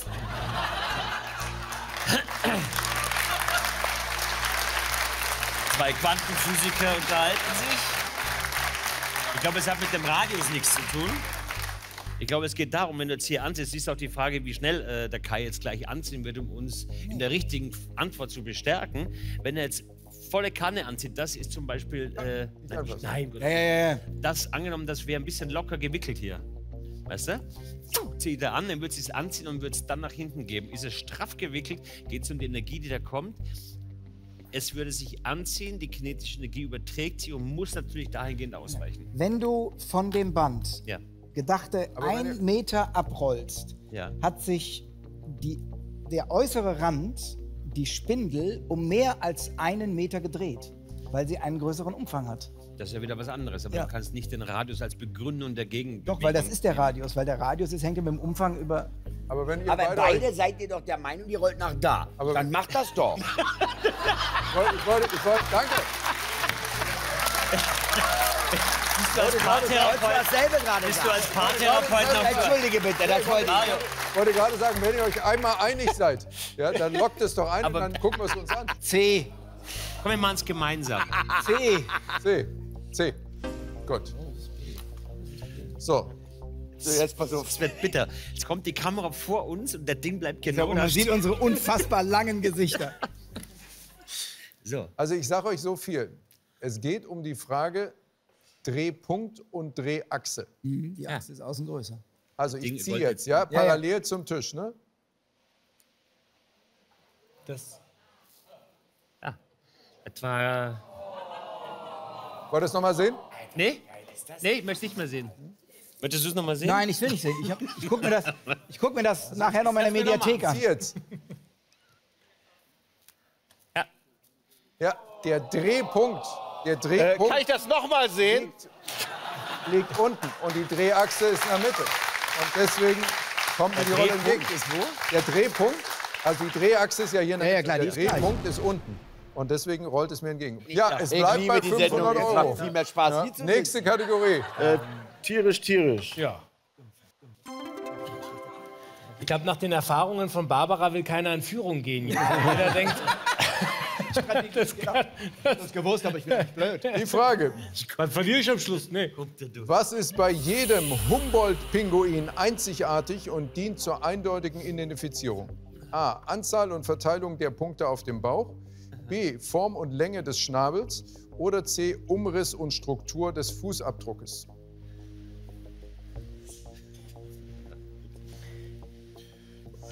Du hast doch gerade gesagt, das hast du irgendwie gelesen. Nee, bei einem der unzähligen Zoobesuche. Ja. So, das ist Alex. Also der Pinguin ist Alex, äh, der Mann dazu ist Markus Köchlin. Hallo Markus, grüß dich. Guten Abend. Jetzt bin ich mal gespannt. Ja. Alex ist heute mal ganz alleine unterwegs. Seine Frau Alexa ist heute zu Hause. Wo kommt, wo kommt Alex her? Äh, Alex kommt aus einer Also Publikum und äh, der gehört zu einer ganz, ganz bedrohten Tierart. Die Humboldt-Pinguine sind nämlich wirklich vom Aussterben bedroht. Und deswegen heißt er nämlich eigentlich auch Alex und seine Frau Alexa, weil die nämlich ein Projekt haben, die die Tiere in der Natur äh, vom Aussterben bewahren, also Lebensraum schützen. Und äh, das ist also wirklich eine ganz, ganz tolle Organisation, die dieses Projekt ins Leben gerufen hat. Und wir unterstützen das gerne. Und deswegen sind wir hier, um die Öffentlichkeit natürlich auch um das Projekt zu informieren. Aber er ist sehr neugierig gerade, ja. Man sieht ja hier, der mag Menschen, äh, also. und äh, das macht ihm überhaupt nichts. Also, es ist ein ganz, ganz freundliches Tier und der ist super trainiert und der hat auch zu Hause natürlich seine Pinguingruppe und kann da ordentlich planschen, ja. Wo, wo kommt der ursprünglich her? Aus Bielefeld, aus einer Zuchtstation für bedrohte Vögel. Und die heimische Region, Ursprünglich kommen die aus Südamerika, ja. Also keine Pinguine aus der Antarktis, sondern tatsächlich aus den Tropen. Und genau deswegen sind die eben so bedroht, weil gerade an der Küste da überall Häfen gebaut werden. Und äh, ja, das bedroht den Lebensraum der Tiere. Okay. Markus, vielen Dank erstmal für den Moment. Ich guck mal jetzt, wo der ist hier. Also, wir haben ein bisschen diskutiert. Ja. Wir sind bei C, Umriss und Stellung des- Also Anzahl und Verteilung der Punkte auf dem Bauch. Ja, der hat Punkte auf dem Bauch und wahrscheinlich auch verschiedene, aber. Ja, der mag Menschen, ja. dann hättet ihr den, glaube ich, auch nicht hier rein. Also ich glaube, die Füße sind wie, wie so eine Art Dass Fingerabdruck. da jeder, genau, Hammerzehe, äh, dass jeder einen anderen Spreizfuß, Blattfuß, Größe. Schnabel. Die sehen doch alle relativ. Also was soll der für Form? Gut, ich meine, vielleicht, vielleicht ist es ja, dass die sich so, weißt du, wenn die sich. Ja, aber der geht doch kaputt oder der wird. Ich glaube, die sind jetzt auch keine solche Sichtspezialisten. Die Lederdinger für Seetang, Oder? Der mich. Und auf die Füße gucken die sich auch nicht. Da sind ja eh meistens Eier drauf auf den Füßen. Da sind meistens Eier drauf. Guck mal, er hat jetzt zum Beispiel so einen leichten Überbiff. Ich habe absolut. Ich auch nicht, aber Das erste Mal würde ich mich tatsächlich komplett darauf. Sag du bitte, was du meinst. Form und Länge des Schnabels. Also, also du Antwort musst B. es aber. B. Ich- Antwort Ja, ja. B. So, Markus, was ist denn jetzt das wirklich markante bei Also- den Pinguinen? Tatsächlich ist es so, dass die natürlich so einen kleinen Überbiss oben haben, aber das haben alle Pinguine, weil die nämlich ihren Fisch damit festhalten müssen. Das ist also erstmal nicht die richtige Lösung. Und die richtige Lösung ist nämlich, dass die Punkte tatsächlich bei allen Pinguinen unterschiedlich angeordnet sind, auch unterschiedlich viele. Und daran kann man sie ganz eindeutig unterscheiden. Ja, also, ihr habt leider auf die falsche Antwort getippt. Und richtig wäre Antwort A gewesen. Richtig ist Antwort A. Markus, wir drücken euch weiter für eure Arbeit die Daumen und äh, viel Erfolg auch für Alex und Alexa. Vielleicht einfach mal gucken, ja, wer noch nichts darüber weiß. Alles klar. Vielen Dank. Dankeschön, Bis danke für den ne? Besuch. Danke, Alex. Ist gar nicht so einfach, Alex jetzt hier wieder mitzunehmen. Ich glaube, er hat ja? durchaus Spaß gehabt bei uns. Danke, Alex. Super was. Also, es bleibt bei 500 Euro. Ja, da muss noch ein bisschen Geld dazukommen. Was haben die Okay. erfunden? volle Konzentration ist. Wir brauchen noch ein bisschen Geld auf dem Konto. Medizin oder Wissenschaft? Äh, Wissenschaft. Bloß keine Medizin. Wissenschaft. Labor. Labor. Im Labor. Im Labor. Was kann mit einem Hochdruckgebläse zum Schweben gebracht werden? Ah. Ah, jetzt. Jetzt. Wir haben Eine da mal was vorbereitet. Ich kann dir sagen, was passiert. Ich werde Ja. sagen, das ist bestimmt A, aber lass uns dann doch besser B nehmen. Ja. Irgend sowas kommt jetzt. Stehen für dich die. Und dann sagst du C und Bison-Baby. loggst B ein. Stehen Also, A, Wie geil. für euch zum Genießen. Super. Sag's, sag's vorsichtig Jetzt bitte. Er kriegt jetzt schon eine Was Krise. kann mit einem Hochdruckgebläse zum Schweben gebracht werden? A, ein Schneebesen, Ja. B, ein Schraubenzieher oder C, eine Schere? Jo, da ich ja lange Zeit in der Raumfahrt und in der Luftfahrt gearbeitet habe, geht es darum, Herr Hoeker, wenn man sich vorstellt, dass wir flugbares Material brauchen, was brauchen wir? Wir brauchen Tragflächen, nicht wahr? Ja? Im Militär sowie im Privatverkehr brauchen wir Tragflächen. Wenn man die Schere auseinander tut, könnte man sich vorstellen, dass es durch eine, sag ich mal, relevante Luftströmung von unten quasi zu einem, zu einem Rotor kommt. Verstehst du? Ja. Gut, die Begeisterung ist jetzt nicht so, wie ich es mir vorgestellt habe, macht aber nichts, weil ich komme zum Schneebesen. Der Schneebesen an sich ist natürlich auch ein Rotationsinstrument, deswegen wird es in der Küche auch als solches verwendet und könnte durch eine gehörige Portion Luft auch in Rotation versetzt werden und könnte natürlich äh, mit dem Besen nach unten Ja. ins Fliegen gebracht werden. Schlechte Chancen gebe ich dem Schraubenzieher, muss ich sagen. Äh, Zu aerodynamisch. Zu aerodynamisch, unaerodynamisch. Würde ich, ich würde auch den Schraubenzieher als zu unaerodynamisch Nicht? sehen. Da würde So. die Luft dran vorbeigehen. Die Schere ist zu chaotisch. Zu chaotisch? Ja, und ich glaube, ich bin eher für den, ich bin für den Schneebesen. Wir nehmen A. Gut. Drei Indizien, die dagegen sprechen. Hinten das Lachen, da, äh, Kais Mitleid ist okay. Okay. Nein, nein, nein, ich, bin, ich, bin nur, ich freue mich nur darauf, dass jetzt zeigt. Achso, du willst das machen, okay. Ja, ja, ja. ja A ist eingeloggt. So, Markus Alles- Weber, komm Dann ganz ist schnell die zu uns. Oh, Ja. Wobei das, das mit dem ich Ding. ich finde es so schade, dass ich kein Hochdruckgebläse zu Hause habe. Ich würde das viel öfter noch machen. Das ist so ein Spaß. Diesen Gläser Du, kaufen. ich, darf darf ich es machen, Markus? Darf ich Ich wollte dir erst bitte? zeigen, ob das. Äh, Bitte. direkt- Dreh, dreh mal auf erst. Ja, ist, ist aufgedreht, genau. Ah, ist aufgedrückt. Kommt was an? Ah. so, also. Wie sich der Kai freut. Ich finde das gut. Ja. So, pass auf, wir, wir, zeig, wir zeigen es euch jetzt. Passt auf. Könnte ich jetzt noch lange rummachen, ne? Funktioniert nicht, ne? Funktioniert nicht. Schere funktioniert nicht.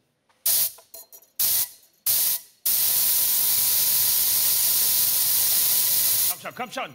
Bleib, mach länger, mach länger, mach länger. Das kommt schon. Ja, kommt das, das, das, das kommt. Das war der Rührbesen. Ja. Er dreht sich super, aber er fliegt leider nicht. Herr Schneebe ist eine Sau nicht. Ah, aber jetzt. Es ist gar nichts. Wir machen die mal fest. ja, genau. Oh nee, ist nicht wahr, oder?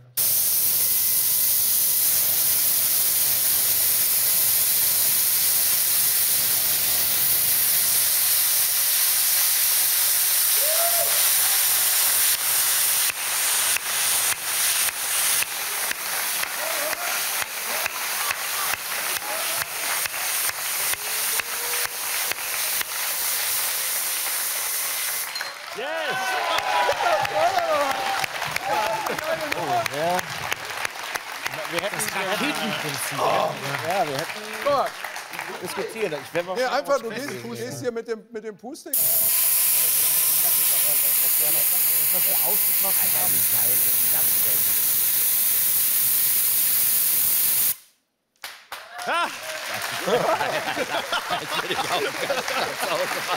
Das ist so ein Männerding. Das wird noch besser, der Markus setzt noch einen drauf. Pass auf, pass auf, guck dir das an.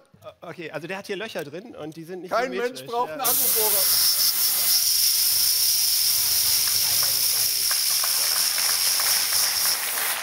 Ist das geil, oder? Sortierung, aber. Aber da freuen wir Männer uns lieber. Ja, das ist gut. Das ist Ah. gut.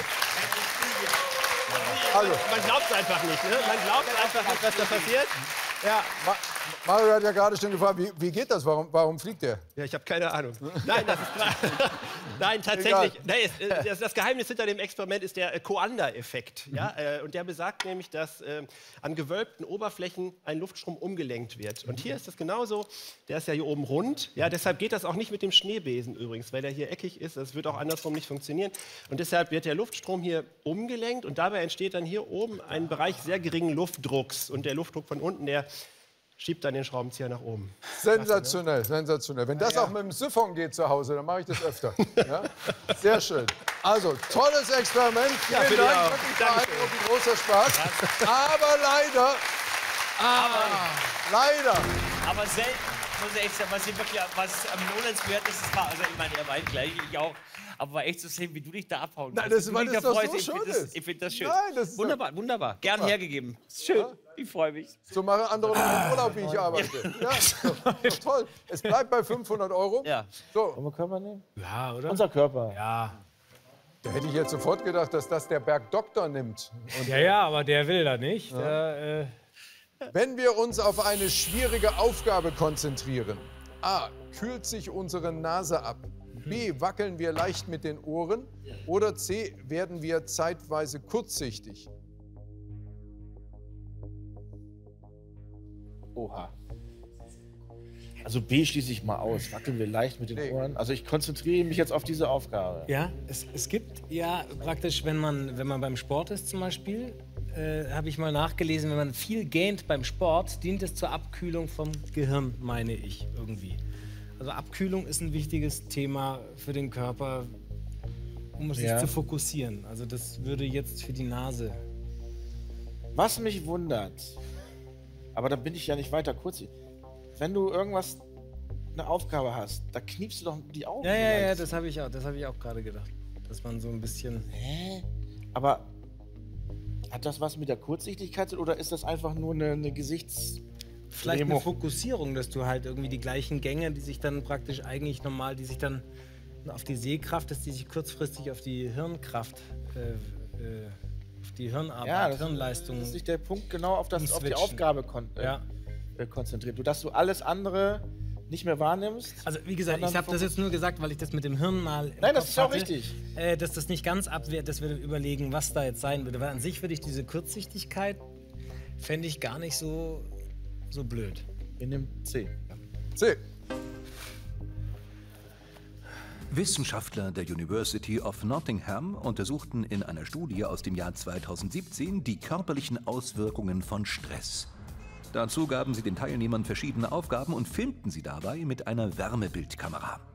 Das Ergebnis? Die starke Konzentration auf eine Aufgabe führt dazu, dass sich das Gesicht abkühlt. besonders rund um die Nasenspitze.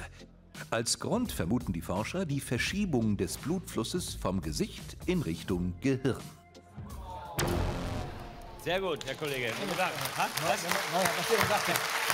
Ja. Bleib bei 500. Du hättest es gewusst, ich weiß. Du Nein, bist Arzt. ja, aber, aber, aber, es- aber es war ja genau so. So. Ähm, vorhin hat mich der Berner gerade angeguckt und meint, nehmen wir Neuheit. Sag ich, machen wir. Neuheit? Ja. Neuheit. Deine Mit- Frage, Bernhard.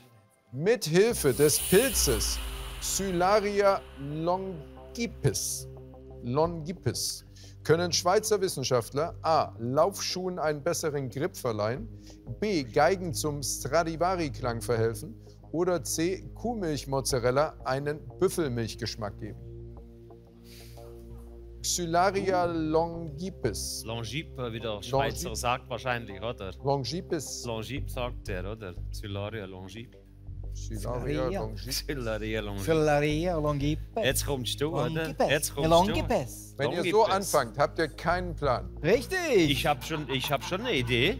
Nämlich? Ich glaube, dass es A ist. Das ist das Einzige, was ich sofort ausgeschlossen habe. Aber gut. Aber äh, Grip. Und ich glaube, dass die, der Pilz Xylare longip hat spezielle Armchen, äh, die da, äh, von der Struktur eingesetzt werden, ähm, um dem Laufschuh einen besseren Grip äh, zu geben, oder? Nee. Ja. So, das war jetzt mein erster, mein erster Gedanke. Vielleicht bin ich in der falschen Show. Bernhard, wo bist du denn? Ja. Also, als B kam, dachte ich, wow, das ist cool. Das kann sogar Mhm. sein, weil das Besondere an der Stradivari war nämlich nicht zwingend, dass er so toll war. Er war natürlich ein guter Geigenbauer, auch keine Frage, sondern dass er auch ein bisschen Glück hatte, in welcher Zeit er da. Ja. Also das Holz selber war ein besonderes Holz. Mhm. Und dass er mit Hilfe dieses Pilzes dieses Holz, äh, diesen Holzklang hinbekommt. Ja. Ich würde A ausschließen. Ich bin für B Sehr oder gut. C. Was Gut. würdest du eher nehmen, B oder C? Eher was, dass das Holz verändert oder dass die Milch durch einen Pilz. C ist zu billig. Könnte es aber durchaus sein, dass B mit dem Pilz, Ge- Geigen mit dem Pilz angestrichen werden, damit sie wie das Stradivari klingen, ist auch ziemlich abgefahren. Ich nehme das, was du machst. Ich bin ein Bernhard, guter... dann mach. Du bist der Hauptmann. Ich nehme B.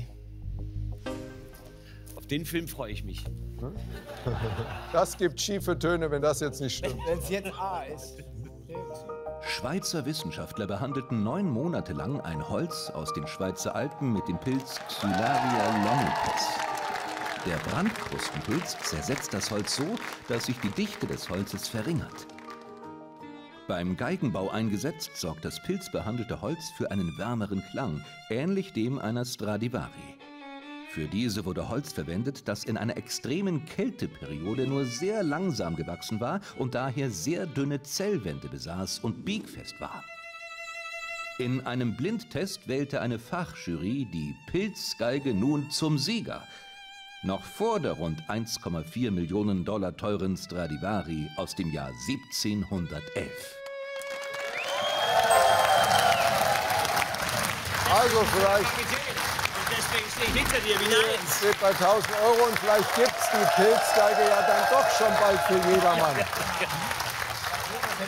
So, letzte Frage für Elfner Sebastian Ströbe aus der Kategorie im Grünen. Ja, die nehmen wir.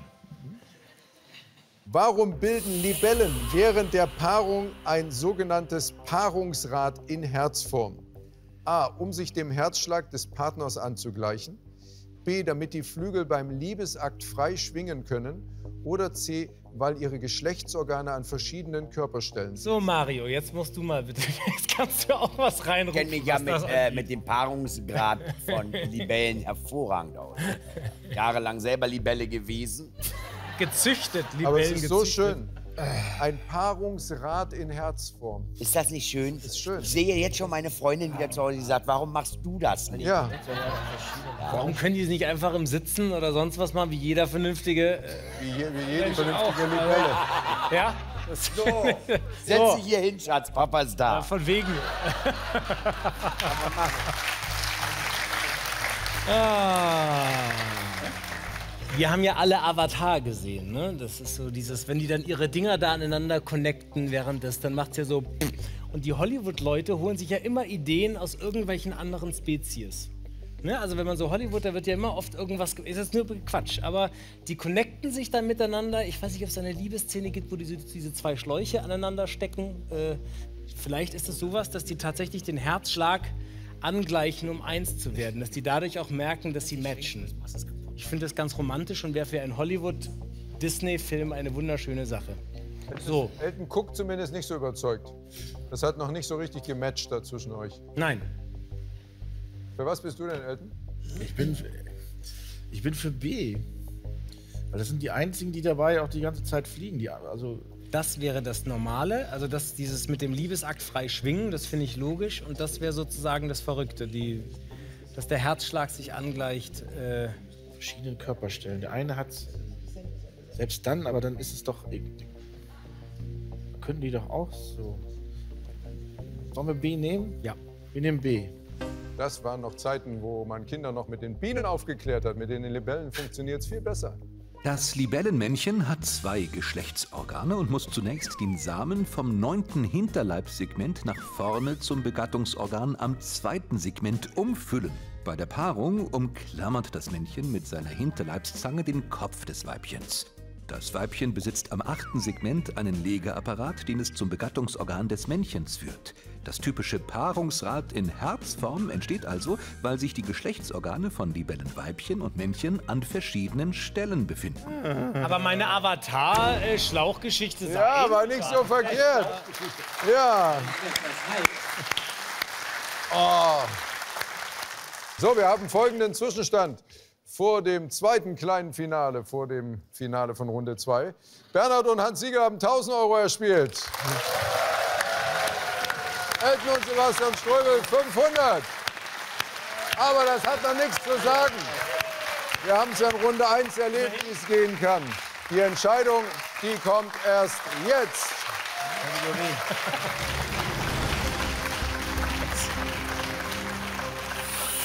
So, die Kategorie, aus der die heutige Masterfrage kommt, ist Metropolen. Oh, geil. Metropolen. Ich will es gar nicht sehen. Ja, du wolltest es weiter, dass du alles setzen Immer. Ja. Und? Nee, nicht alles. Wohin hat es mich gebracht? So, Elton und Sebastian haben auch gesetzt. Hier Ja, ist die. Masterfrage in Runde 2. Welche dieser Großstädte hat das längste U-Bahn-Netz? A. New York, B. Moskau oder C. London? Ihr habt 20 Sekunden. Ab jetzt!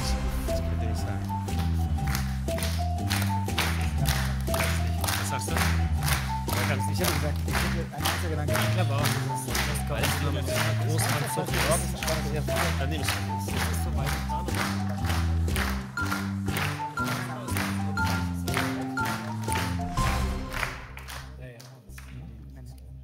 So, beide Teams haben ihre Antwort eingetippt.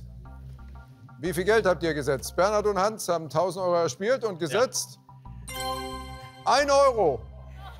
Ja. Oh. Ich möchte ganz kurz möchte ich sagen, dass ich mit dem Ablauf, dem Setzen und der Antwort dieser Finalaufgabe nichts zu tun habe. Da, und damit auch dem Ausgang. Weder, aber nicht, weil ich mich rausstehe, sondern ich möchte das wirklich sagen, es wird alles der deiner Ehre zulaufen. Ja, weil ich denke auch an dich. Elton und Sebastian haben gesetzt.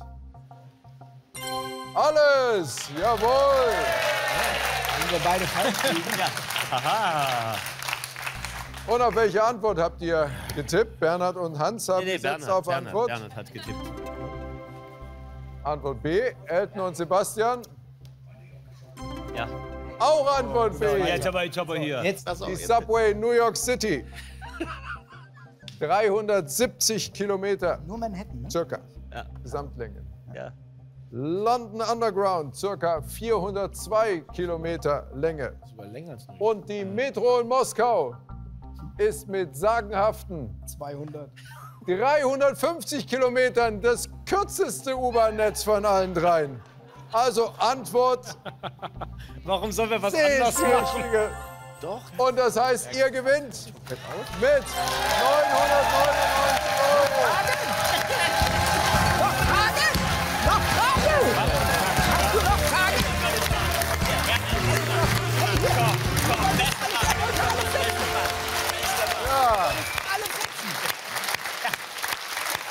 Und das kann sich ja auch in der Summe dann lohnen. Ein Scheiß. 999 Euro heißt für jeden von euch nochmal obendrauf 13,50 Euro. Und das heißt, erstmal, Sebastian, vielen Dank.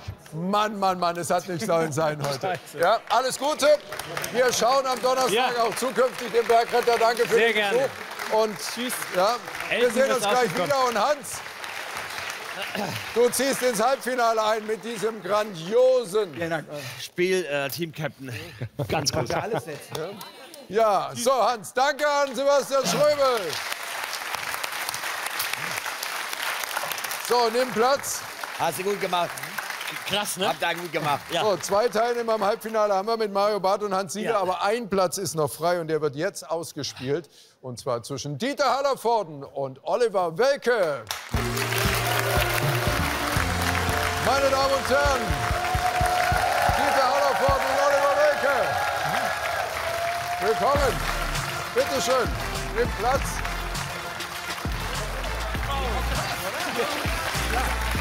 So,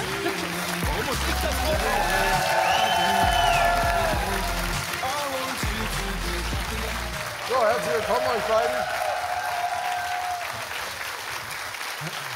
Gibt es vier Vorschusslorbeeren. Vier Vorschusslorbeeren.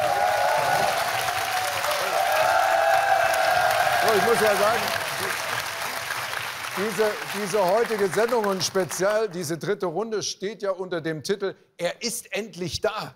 Oh. Ja? Wir haben ihn.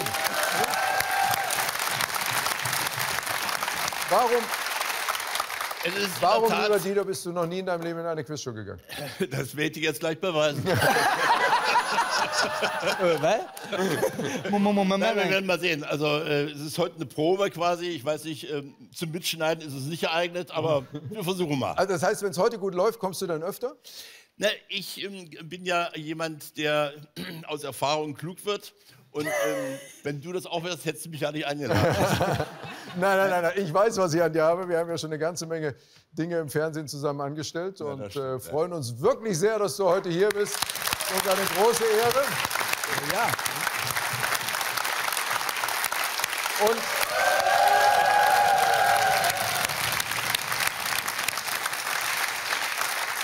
Lieber Olli, du gibst für uns ein freies Wochenende dran. Das ist auch eine ganze Menge wert. Ja, Und- ja. ja. absolut. Dafür nicht. Ihr, ihr beide jetzt zusammen hier. Ob wir die Wende bringen in der Kombination? Natürlich. Na gut. Wir werden es sehen. Also, wir widmen uns äh, den knallharten Fakten.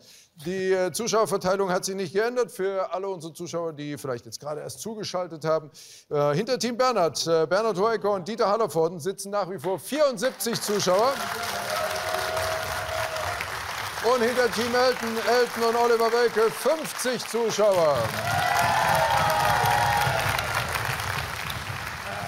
Und damit, lieber Dieter, ringfrei für deinen ersten Quizshow-Auftritt. Hier sind unsere zwölf Kategorien in Runde 3.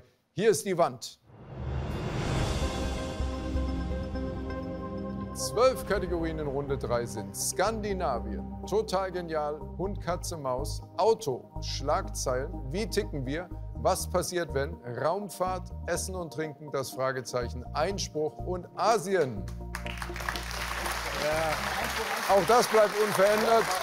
Hinter Team Bernhard sitzen mehr Zuschauer, deswegen dürft ihr die erste Kategorie wählen. 500 Euro für jede richtige Antwort und einen Publikumsjoker, wenn ihr ihn denn braucht. Erste Kategorie, was darf es denn sein? Äh, wir nehmen Einspruch. Einspruch. Äh, aber Eine- ich will mal vorher sagen, ich äh, würde mich gerne mit ihm auf eine Aufgabenteilung äh, einigen. Ja? Und zwar, du bringst die richtigen Antworten, das ist deine Aufgabe. Ja, mach ich. Und meine Aufgabe ist, dich dafür zu bewundern. Äh, können wir das so machen? Ja, oder du schließt die Falschen aus. Das geht auch. Das geht auch. Das geht auch. Und ich bin ein sehr, äh, sehr fairer Spielpartner. Ich wünsche viel Erfolg dem Oliver Welke. Ja, guck mal da. Meine natürlich nicht ernst. Ja, ja, klar. War, Die erste Frage aus der Kategorie Einspruch.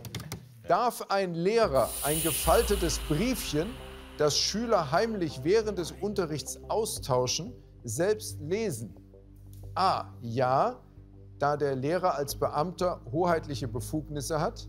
B. Nur, wenn der Brief nicht in einem verschlossenen Umschlag steckt. Oder C. Nein, er verletzt damit das Briefgeheimnis. Ist das eine interessante Frage? Also ich weiß, dass selbst eine Postkarte eigentlich ein Briefgeheimnis ist, obwohl sie offen ist. Das ist halt eine sehr dämliche Art, dort Geheimnisse zu schreiben. So, das heißt, das kann man zwar lesen, aber eigentlich ist es, es ist so eine Grauzone. Deshalb, ich glaube nicht, dass er als Beamter hoheitliche Befugnisse hat. Was ist das für eine hoheitliche Aufgabe? Der Postbeamte dürfte ja auch nicht das Briefgeheimnis brechen, nur weil der eine dem anderen was schreibt und es durch seine Finger geht. Äh, Aber ich könnte mir vorstellen, dass A äh, tatsächlich tats äh, äh, vielleicht die richtige Antwort wäre. Aber wir hatten ja gesagt, dass du. Äh, Das Briefgeheimnis ist ein sehr, sehr hohes Gut. Deshalb glaube ich, würde. Also. Du würdest wahrscheinlich mehr zu C Ich tendieren. tendiere zu C. Ja. Ich würde das äh, auf meine Kappe nehmen und wenn es A ist, dann bist du der Held, auch wenn es nichts bringt. Ja. Nee, also ich glaube auch, dass C äh, ist irgendwie richtig. Äh, Bernhard C. Wolker. Oder sag, Dieter, du kannst jetzt auch einfach sagen, also ich bin absolut für C, ich nehme C, und dann schneiden wir all das raus, was Bernhard gesagt hat, und dann sieht es so aus, als hättest du es gewusst. Sehr gute Idee. äh, ja, du, ich glaube, ähm, wir sollten C nehmen. Wenn du das sagst? Für mich kommt du das sagst. in Frage. Ja? Tut mir leid. Okay, also. Sehr gut. Auch wenn ich da an dir vorbei entscheide, Also, aber. ich hätte A genommen, aber wenn du C Ja, sagst, tut wir nehmen, wir nehmen Also C. mein Wort gilt. Okay. So, C ist eingeloggt Jetzt und ist falsch. jetzt wird sich für viele Schüler und auch Lehrer das komplette Leben verändern.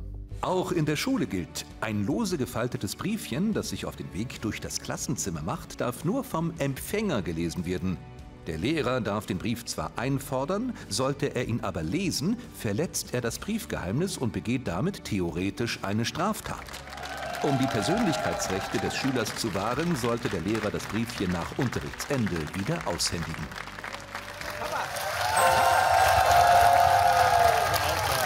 So, Einstieg gelungen. Erst, Hab ich das gemacht, oder? Nein, das ist erste super. Frage, die du jemals in einer Quizshow beantwortet hast. Und das richtig. Ja. ja die ersten 500 Euro. Such dir was aus, Mein Vater, wo du ein gutes Gefühl mein hast. Vater wäre stolz auf bin aber dich. nicht so ein Lustgänger wie Barbara. Doch. Äh, wie ticken wir? Psychologie ist das, ne? Ja, ja. Ach so. Hat Das auf jeden Fall schlecht. nicht Das ist schlecht. schlecht. Hat okay. nichts mit Sport zu tun. Das ist schlecht. Was fördert laut einer Studie der University of British Columbia den Umsatz in Luxusartikelgeschäften? A. Dunkle Lichtstimmung. B. Arrogante Verkäufer. Oder C. Totale Stille. Ah, das ist interessant. Also ist, das mit den arroganten Verkäufern finde ich schon mal sehr, Ja. sehr spannend, weil äh, Leute dann vielleicht denken können, wenn die sich, wenn die es sich leisten können, sich mir gegenüber so mies zu verhalten, müssen das echt tolle Produkte hier sein. Ja, Weißt ich du? ein bisschen auch merkwürdigerweise dafür. Totale Stille, das ist äh, jetzt nichts, was einen zum Kaufen animiert, finde ich. Im Gegenteil, das macht einem so Angst. Weißt Ja, du? das, ja. Dunkle Lichtstimmung ist toll zum Klauen, aber äh, Nee, ich glaube auch, Arrogante, so die dann da stehen und. weißt du, so wie bei Pretty so- Woman, wo sie angucken. Julia Roberts so scheiße behandeln, dass Richard Gere vorbeikommen muss, äh, so dieser Stil. Ja. Also es klingt jetzt wie nichts, was, was man als Marketing-Experte empfehlen würde, aber sonst wäre es ja auch nicht überraschend, was die da rausgefunden haben, weißt du? Ja, das ist kann nur mein sein. Gefühl. Der guckt dich so an von oben bis unten Ja. nach dem Motto, hä? Ja, was Und machst sagst, du denn hier? Dem Genau. zeige ich das. Ja. Ich nehme alles. Genau.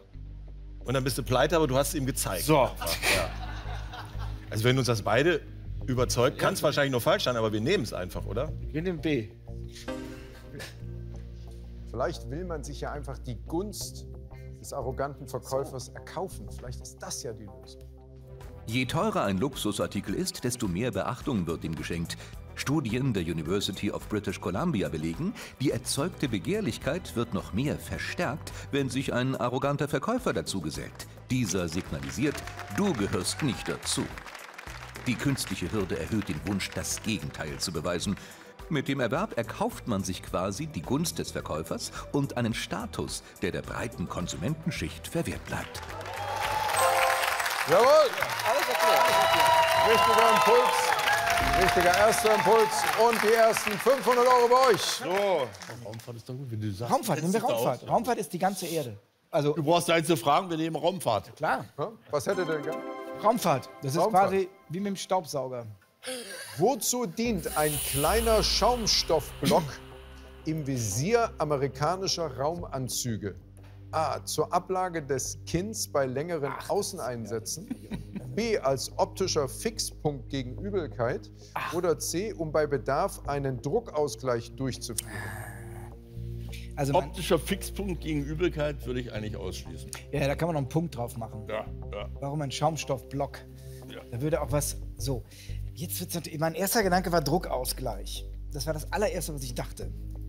So, aber wozu dient ein kleiner Schaumstoff? Wieso ist das ein Schaumstoffblock? Das ist ein totaler Unsinn, eigentlich, wenn der im Visier ist.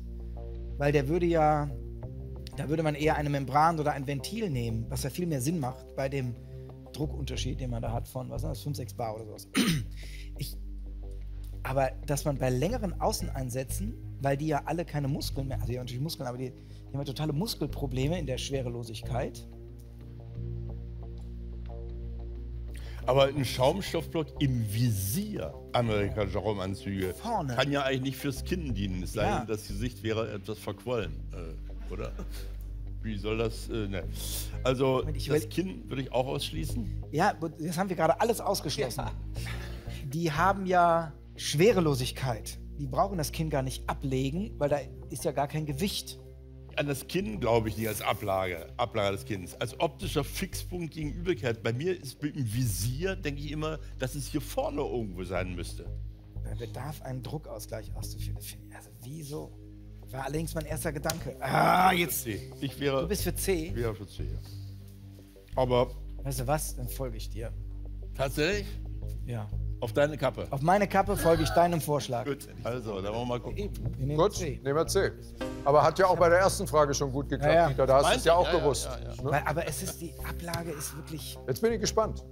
Raumanzüge sind ein technisches Meisterwerk und enthalten so manches erstaunliche Detail. Im Raumanzug, und zwar in dem Raumanzug, mit dem man draußen ist, ist der Druck nur 0,3 Bar. In der Raumstation ist er 1 Bar und deswegen gibt es einen Druckunterschied. Und um ein sogenanntes Valsalva-Manöver zu machen, also diesen Druckunterschied auszugleichen, gibt es rechts vorne in dem Helm so ein kleines Schaumstoffstück. Das muss man sich hier auf diese beiden Nasenlöcher drücken und dann macht man einmal und dann hört man auch, dann knackt das so ein bisschen Ohren und dann ist der Druckunterschied ausgeglichen. Doch damit nicht genug. Und das Ding kann man natürlich auch benutzen, um sich so ein bisschen die Nase zu kratzen. Das haben auch einige Astronauten mal gemacht, um eben eine juckende Nase zu kratzen. Der hier. Wer ist das? Wer ist das? Das können wir nicht machen. Richtige Antwort. Geht zurück auf den äh, Mediziner Antonio Maria Valsalva. Ja, das ist das hier könnt ihr nicht machen. Ja. Und dafür gibt es das. Ja, ja, gut. Glück gehabt. Dankeschön. Ja, ein, Glück hast du, ein Glück hast du den Dieter an deiner Ah, ja, Seite. ja, ich bin- Ja. So, ihr steht bei 1000 Euro. Nächste Frage, nächste Kategorie. Essen und trinken. Ich hab Hunger. Ja. Um frischen Knoblauch möglichst gesund zuzubereiten, empfehlen Ernährungswissenschaftler, ihn A. vor dem Schälen mit etwas Speiseöl einzureiben, B. vor der Zubereitung für 15 Minuten in die Sonne zu legen oder C. nach dem Zerkleinern noch 10 Minuten ruhen zu lassen. Tja. Tja. Die Knoblauchexperten. Also, von Zubereitung für 15 Minuten in die Sonne zu legen. Warum? Weil dann irgendwelche Stoffe nochmal freigesetzt werden? Also es gibt ja äh, bestimmte Sachen, die ihre Nähr Vitamine, Nährstoffe erst freisetzen in der Kombination mit Fett. Ist ja so. Ne? Aber andererseits, warum sollte ich die vor dem Schälen mit Speiseöl Ja, also die einreiben? ganze, weiß ich, die ganze Knolle oder nur die Knoblauchzehe ohne, also mit Schale noch mit Fett einreiben. einreiben. Und dann nehme ich die Schale ab und dann zerquetsche ich das Ding. Also was ich gar nicht verstehen würde, ist C. Ich zerkleinere das und lasse es 10 Minuten liegen. Also die wenigsten Sachen werden ja dann irgendwie gesünder, wenn ich sie 10 Minuten liegen lasse, oder? Ja, oder, es, oder da sind halt auch irgendwelche Stoffe drin, die dann nach 10 Minuten verfliegen, die dann nicht mehr so für deinen Magen irgendwie anfällig sind. Das ist eine Art Bitterstoff. Also nicht, dass das dann Das- irgendwie gesünder wird, sondern weniger Zwiebel. unangenehm. Wenn Mhm. Zwiebel, wenn die erstmal liegen lässt, dann ist ja irgendwann der Reiz, der Augenreiz auch weg. Ja. Also kurz gesagt, wir wissen es überhaupt gar Ich nicht. wollte auch sagen, das ist, Ja. also wenn ihr es nicht wisst, das ist, glaube ich, eine sehr gute. Das ist eine Top-Publikumsfrage eigentlich, oder? Wir fragen das Publikum. Frage des Publikums. Ja. So, meine Damen und Herren, die Knoblauchexperten. Jetzt darf man sich umdrehen. Äh, Wollen keine Klischees bemühen, aber. Ah. Man hat nicht nur sofort die Zuneigung aller anderen, die mit hier sitzen, sondern auch sofort die Erleichterung Ja. zu spüren. Hallo? Silke aus Hamburg-Glinde. Ah, hallo Silke. Also vor dem Schälen würde ich auch sagen, mit Speiseöl reinreiben, ziemlicher Quatsch. Ähm, 10 Minuten, äh, 15 Minuten in die Sonne, ja im Winter, was mache ich da, wenn es grau ist? Macht auch keinen Sinn. C, eher, weil Rotwein mache ich auch auf, kipp ihn um und lache auch erstmal den, das Aroma sich entfalten. Also würde ich sagen C. Okay. Ah, du glaubst so, dass die Aromen sich dann erst entfalten? Knoblauch dekantieren quasi. Ja, ja. Man kann so viel falsch machen im Leben, Oliver. Man kann so viel falsch machen Ja. im Leben, auch bei Knoblauch. Sobald Knoblauch zerkleinert wird, werden die Aminosäure Allein und das Enzym Alleinase freigesetzt. Sie verbinden sich und bilden Allicin. Dieses Reaktionsprodukt hat gesundheitsfördernde Eigenschaften. Damit es sich auch bilden kann, sollte Knoblauch nicht direkt nach dem Zerkleinern in der Pfanne landen. Denn das Enzym ist nicht hitzebeständig und geht verloren, bevor Allicin entstehen kann. Ernährungswissenschaftler raten daher, den Knoblauch nach dem Zerkleinern noch 10 Minuten ruhen zu lassen. Sehr gut, Silke. Richtige Antwort. Herzlichen Glückwunsch. So, Daumen drücken hier für den weiteren Verlauf. Auch bei euch kommt 500 Euro dazu und ihr steht bei 1000. Gut.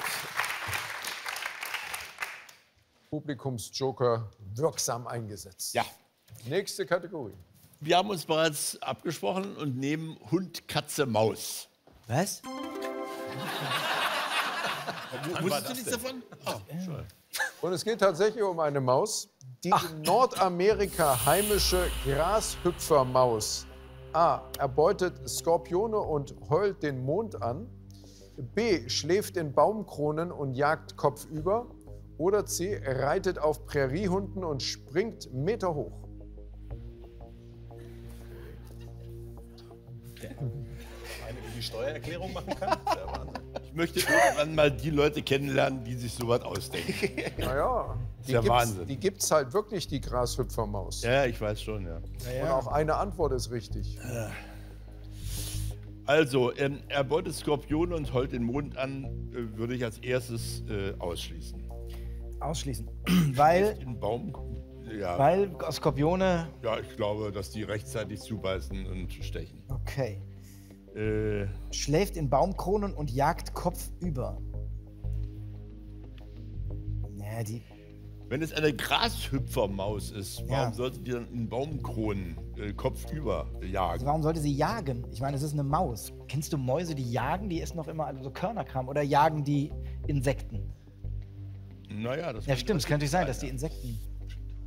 Aber eine Maus, die auf Präriehunden reitet und Meter hoch springt, habe ich persönlich auch noch nicht gesehen. Aber er erbeutet Skorpione und heult den Mond an. Also, warum soll sie das nicht machen? Skorpione erbeuten. Das ist ja genau das Besondere an der.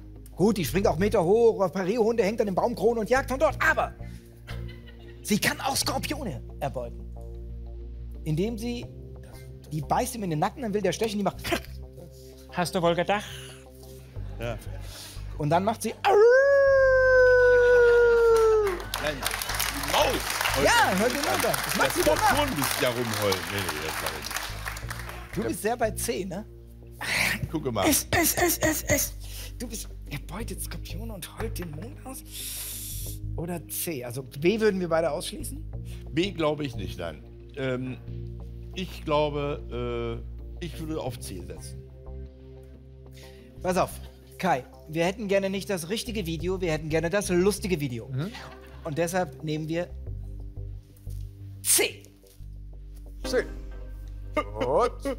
Wir werden die Grashüpfermaus jetzt kennenlernen. Wir haben sie leider nicht hier, aber im Film. In den Wüstengebieten Nordamerikas ist ein außergewöhnliches Nagetier zu Hause.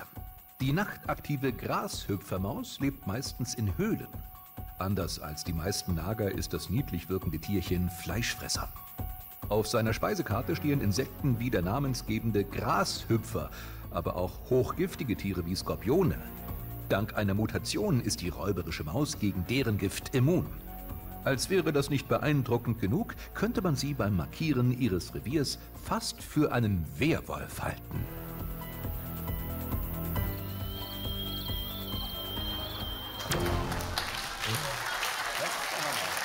Also das hat mich noch glücklich gemacht. Aber, aber ihr habt ja schon 1000 Euro Alles auf dem. Konto. Nein, nein, alles alles gut, gut. alles perfekt. Ja, Das, es geht weiter. Bei 1000 Euro bleibt es da. Hier könnten 500 dazukommen. Äh, Schlagzeilen. Die Frage, wieso konnte ein Diebespaar in Kalifornien nach einem Einbruch binnen weniger Stunden gefasst werden? A. Sie ließen die zum Türöffnen verwendete Kreditkarte zurück. B. Zu ihrer Beute gehörten rund 100 GPS-Peilsender. Oder C. Sie versuchten das Diebesgut umzutauschen. Okay, also wir haben es mit zwei Vollidioten zu tun. Jetzt ist nur die Frage, was genau haben sie falsch gemacht? Klaus Das, und also, also sowas, wie, sowas wie das mit der Kreditkarte, das haben auch schon Einbrecher ihren Perso verloren Ja. am Tatort. Das ist jetzt nicht so wahnsinnig. Also am lustigsten wäre natürlich 100 GPS-Peilsender. Keine Frage, weil einer hätte ja gereicht normalerweise, aber dass man 100 klaut. Ja, aber dann hätte man die doch schneller als wen, weniger Stunden. Ja, bis so eine Polizei in Gang kommt, ne, das kann dauern. Also, also Diebesgut umtauschen finde ich ja relativ langweilig. Das ist keine Schlagzeile. Die Rubrik heißt Schlagzeilen. Es muss irgendwas Außergewöhnliches sein. Deswegen tendiere ich zu A oder B. Jetzt müssen wir nur überlegen, was. Ja, aber dann ist A auch wieder eine bescheuerte Schlagzeile. Oh, die haben die Kreditkarte, wie du gerade sagst. Ja. Aber ich meine, wie kann man das denn übersehen? Grapschen die irgendwas und in irgendeiner Tasche waren zufällig 100 GPS-Peilsender? Ja, vielleicht haben die ja in so einem Laden an, äh, äh, eingebrochen. Ein Handygeschäft oder Zum sowas. Beispiel. Ja, das wäre cool. Oder uncool. Es ist die So, lustigste ja. Schlagzeile von den drei angebotenen. Ob es jetzt stimmt, weiß ich auch nicht. Aber umzutauschen, ich meine, kann ich mir auch geil vorstellen. Die klauen was. Versuchen es bei denselben Leuten Ja, umzutauschen. gehen dann da wieder Ja. hin und sagen, hier, der Pullover passt mir gar nicht. Äh, ich möchte gerne eine andere Größe Ich haben. möchte gerne, dass sie mir für ihren Fernseher Geld geben oder sowas. weißt du? Ja. ja. Aber guck mal, umtauschen zum Ich glaube, die Umtauschen. sind tatsächlich in denselben Laden ich gegangen glaube, die sind tatsächlich in denselben Laden gegangen. und wollten es gegen Geld dann umtauschen.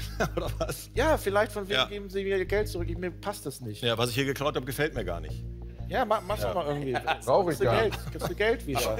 Mir gefällt das nicht mehr, was ich bei Ihnen geklaut habe. Kann ich dafür Geld bekommen? Ja. Die klauen Handys. Oder ist dir das zu dicke einfach? Das Sollen wir in diese dicke. Falle gelockt werden? Ah, pass auf, du bist hier der, der Team-Captain. Oh. Ich möchte nur als Minderheitenvotum wie vor Gericht Ja. sagen, meins wäre B gewesen und jetzt musst du entscheiden. Oh Mann, das ist jetzt echt. Ach man, Elton, die haben eine ganze Körpersprache, wie du hier schon sitzt. Jetzt reiß dich mal zusammen. Wirklich. So. So. Jetzt schüttelst du dich kurz und tippst das Richtige ein. Das kann doch nicht so schwer sein. Wer nimmt C?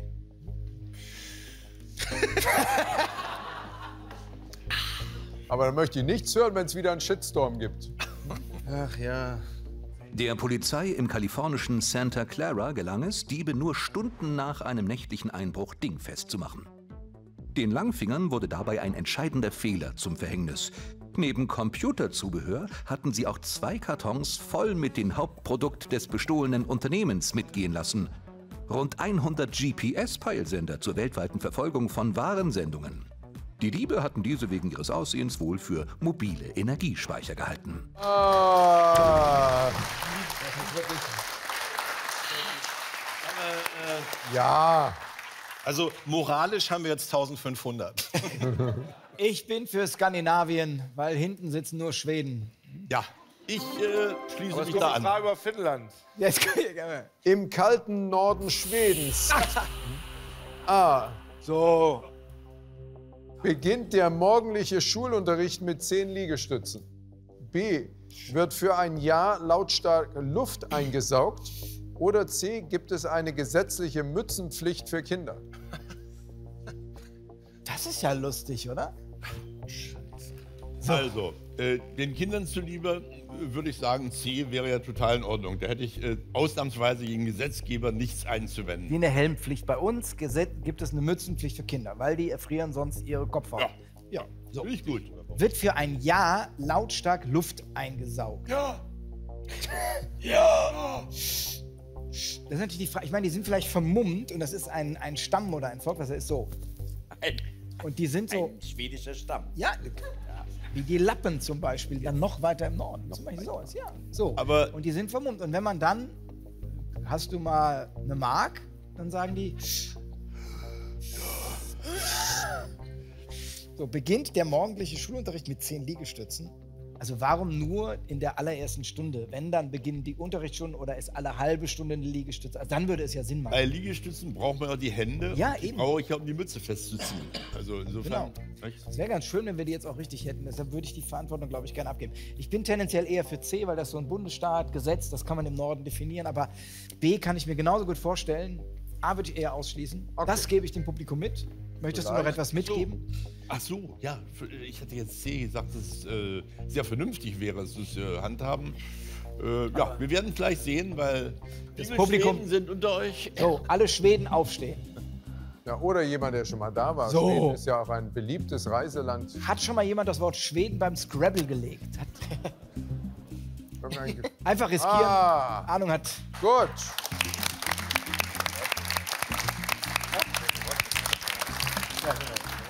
So, grüß dich. Hallo.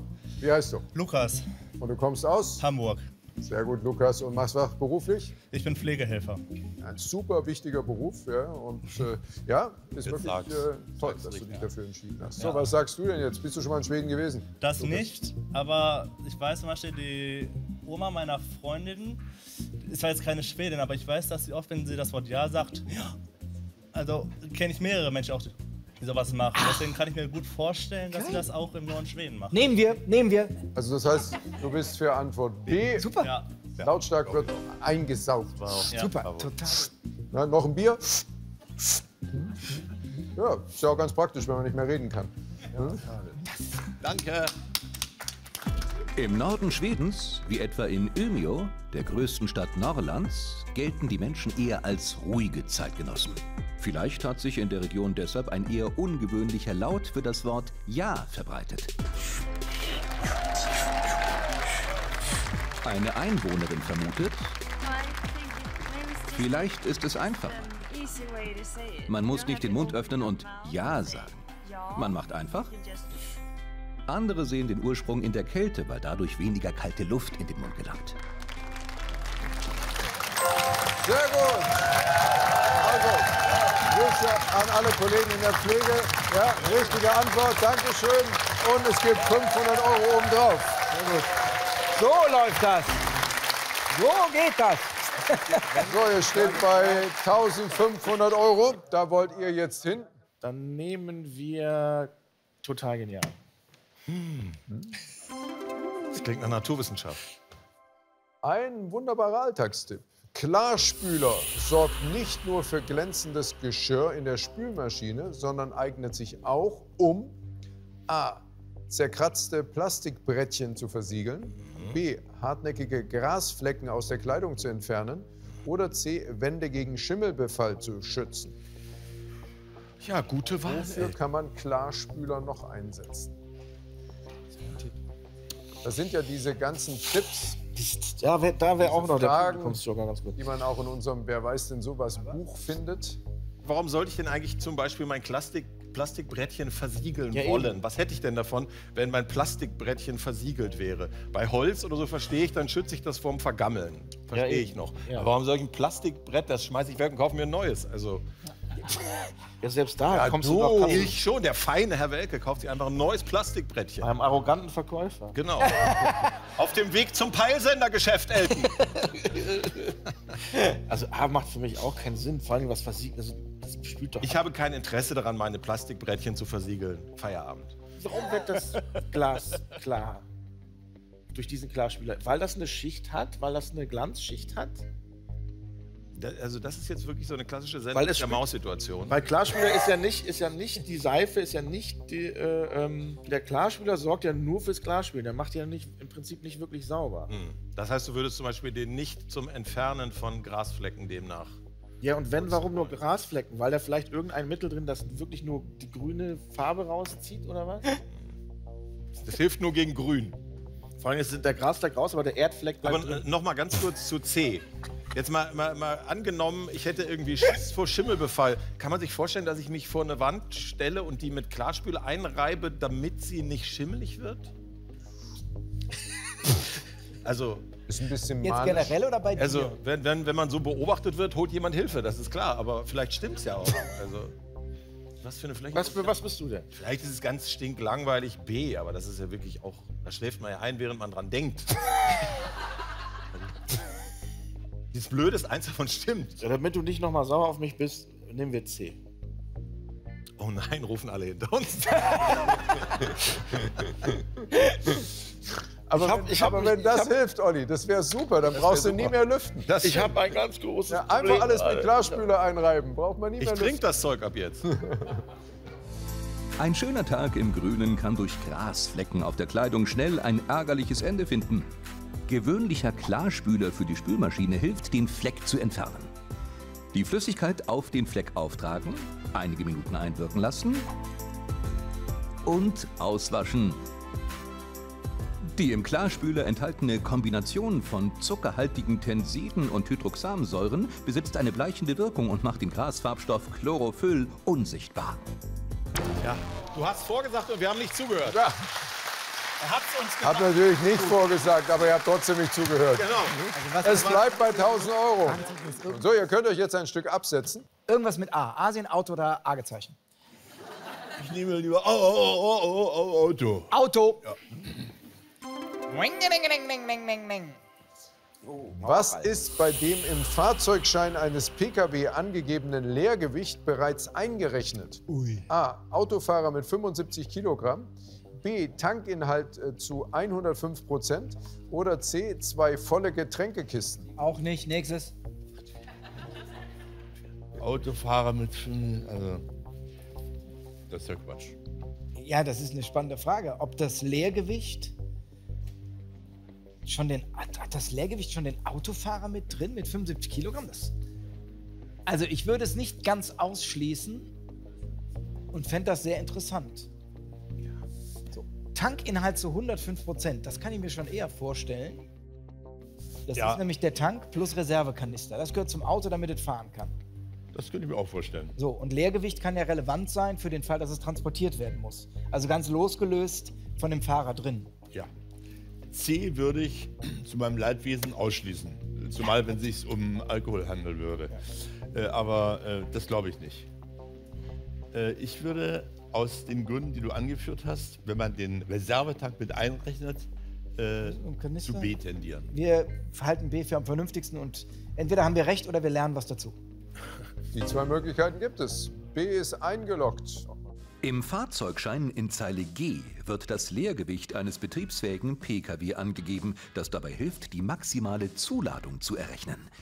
Das Leergewicht setzt sich zusammen aus dem Gewicht von Karosserie und Autoteilen sowie dem zu 90% gefüllten Tank und allen anderen Flüssigkeiten zu 100%. Auch das Gewicht von Ersatzrad und Verbandskasten sind mit einbezogen. Zuletzt sind 75 Kilogramm als Fahrergewicht pauschal im Leergewicht enthalten. Hätte ich auch nie gewusst. Nie gewusst. Ne? Man lernt immer was dazu. Man geht nicht blöder aus der Sendung raus, als man reingegangen ist. Bleibt bei 1500 Euro und das hält euch im Spiel. Ja. Jetzt bin ich wieder dran mit aussuchen. Ja, gerne. Was hast du so für Erfahrungen mit dem Fragezeichen gemacht hier im Laufe der Jahrzehnte? Guck dir mein Gesicht an. Okay. Sehr unterschiedlich. Äh, was passiert, wenn? Das ist, aber das ist wieder wissenschaftlich. Okay. Was passiert, wenn was eine passiert? mit Chlorgas und Wasserstoff Ach, gefüllte mein Flasche Gott. mit einem blauen Laser bestrahlt wird? A. Die Flasche schmilzt. B. In der Flasche bildet sich ein Lavendelduft. Oder C. Die Flasche lässt den Korken knallen. Hm. Das Ja. ist wieder was, was ihr hier zeigen wollt. Ja, wir haben da mal was vorbereitet. So, Okay, also das ist mit ein, eine Mischung aus Chlorgas und Wasserstoff, was mir persönlich schon mal gar nicht weiterhilft. Bist Äh, du so mit Chemie? Nein, nein. Was waren deine Leistungskurse im Abi? Geschichte und Englisch. Ist toll jetzt, ne? Das hilft mir echt weiter. Gibt auch keinen Applaus dafür, wie du Nein, warum auch? Wofür auch, ehrlich gesagt. Also eine Flasche schmilzt da muss mal eben weg. viel Hitze entstehen. Gut, es steht da nicht, dass die ganze Flasche schmilzt. Das würde euch erreichen, wenn da so ein bisschen was wegschmorgelt, sozusagen, ne? Wahrscheinlich. Hm. Also in der Flasche, das- die müssten wir dann danach aufmachen und dann riechen wir alle dran. Wir wissen noch nicht mal, wie Lavendel riecht. Also ich zumindest. Ich meine, richtig hundertprozentig ausschließen. Also eine, ein, ein, ein, ein, ein Laser in einer bestimmten Farbe löst einen Duft aus. Kann ja sein. Wie gesagt, Chemie war nicht meins. Ja, und aber- vor allen Dingen Blau und Lavendel, weißt du? Wenn es grün ist, riecht es nach grüner Wiese. Nach Tanne. Genau. Also das finde ich ist auch echt ein bisschen komisch. So, Flasche lässt den Korken knallen. Also das. Plöpp. Entweder ist das ist Wasserstoff und Chlorgas so gefährlich, dass sie nur eine kleine Flasche nehmen und dann macht es einfach nur plöpp.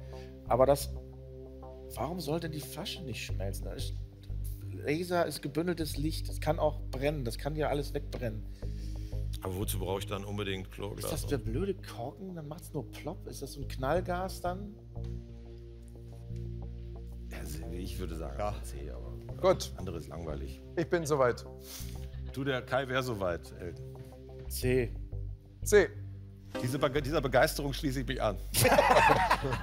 Aber jetzt sitzt du da. Jetzt sitzt du so da. Markus Weber, komm längs. Wie verklagt, wie wollt ihr denn schnitzen? Das sind tausend Schnitte. Das ist, ja nur, das ist ja nur die Flasche, die zeigen sollte, wie die Flaschen aussehen. Ach was. Jetzt kommen die richtigen Flaschen. Genau, das Experiment ist lichtempfindlich, deshalb haben wir es hier drunter versteckt. Ich werde es mal lüften. So sieht das dann in echt aus. Oh, oh. Ja, und man sieht auch schon, mal weg. die ist, das ist ein bisschen grünlich-bräunlich. Also Chlorgas ist wirklich sehr unangenehm. Macht keinen Spaß, das vorzubereiten. Wir haben es für diese Sendung natürlich trotzdem äh, liebevoll gemacht. So, sind die vorbereitet? So, du, solltest auch, du solltest auch zur Seite gehen, weil du möchtest sicher auch nicht nach Lavendel Das ist richtig. Ich wollte aber noch äh, euch beide mitnehmen. Ja, ein weil Stück einfach, ein Stück nach hinten. Der kann wunderschön in den Augen stechen. Dann setz ich mich doch mal zu dir. Na? Okay, seid ihr bereit? Ja, ja. Alles klar. Achtung, ich muss erst mal den Laser in Position bringen. Was passiert?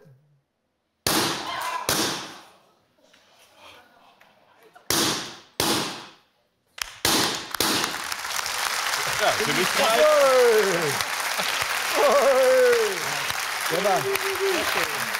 Vorsicht! Jo. Coole Sache. Coole Sache. Also. Aber steht ein bisschen was dahinter. Richtige Antwort. Danke. Das, Ja. Ja. Ähm, ganz spannend, was da passiert. Also Chlor und Wasserstoff, die liegen molekular vor. Das heißt, immer zwei Chloratome liegen im Gas als Pärchen vor. So, und dieses äh, blaue Laserlicht ist sehr, sehr energiereich. Mit rotem geht es tatsächlich nicht. Das hat so viel Energie, dass die Atome, die beiden Chloratome, sich wieder voneinander trennen. Einzelne Chloratome sind sehr, sehr reaktiv, verbinden sich damit im Wasserstoff und setzen eine Kettenreaktion in Gang. Eine Kettenreaktion, die uns hier auf das Hübscheste mit einem wunderbaren Knall erfreut. Schießen die Korken raus. Super, oder? Also, Hey, nicht nur ein tolles Experiment, sondern auch die richtige Antwort für Elton und Oliver Welke. Und damit steht er bei 1500 Euro. Ich sage an dieser Stelle herzlichen Dank an Markus Weber. Danke an die Physikanten für die wiederum tollen Experimente in dieser Show. So, beide Teams weiter. Das, ist das Kopf- eigentlich giftig? Ich habe da dran geleckt. Ich habe einen ganz komischen Geschmack im Mund. Was denn Wart für ein doch. Geschmack? Lavendel? Wart doch mal, wie es weitergeht. Gut. So, beide Teams nach wie vor Kopf an So, Kopf. Wir haben Asien noch oder Fragezeichen? Fragen. Ja, lass uns Fragezeichen. Wir nehmen das Fragezeichen. Das Fragezeichen. Dann sind wir nicht verantwortlich. Der Begriff Silhouette stand im Frankreich des 18. Jahrhunderts als Synonym für A. ein fliehendes Kinn, B. Ramsch- und Billigware oder C. eng geschnittene Mode. Moment, Berner, bevor du irgendwas sagst, Fahrt ihr jetzt Silhouetten lass rein? mal den Dieter ran. Ja, nun, äh, nur weil ich viel Zeit in Frankreich verbinde, äh, ver verbringe, war das natürlich nicht im 18. Jahrhundert. Ja? Also, Nee, aber ich da. Aber, Aber aber ich weiß ja, dass du dich auch sehr viel mit dem französischen Theater beschäftigst und Ja. beschäftigt hast. Vielleicht ist dir da mal untergekommen. Also, ich glaube, dass das äh, ein Synonym ist für Ramsch und Billigware. Aber wissen tue ich es nicht. Du, du sprichst, sprichst fließend Französisch? Fließend sagen manche, äh, ich habe da höhere Ansprüche. Ich glaube, ich kann mich gut verständigen, Ordentlich. aber es ist nicht meine Muttersprache. Das merkt man schon. Aber es ist ein Land, das du sehr magst. Ja, ich bin sehr frankophil Allerdings schon seit Kindesbeinen an. Ich äh, bin ziemlich früh an Frankreich herangeführt worden durch die Literatur. Ich hatte Verwandte, die mir Maupassant und äh, alle großen Dichter Frankreichs nahegebracht haben. Speziell meine Großeltern waren das. Und ähm, ich äh, habe dann ja lange Romanistik studiert und dachte immer, als das Studium dann abbrach und Schauspieler wurde, Mensch, da habe ich Jahre umsonst in- investiert. Und letzten Endes lernt man ja nie etwas vergeblich.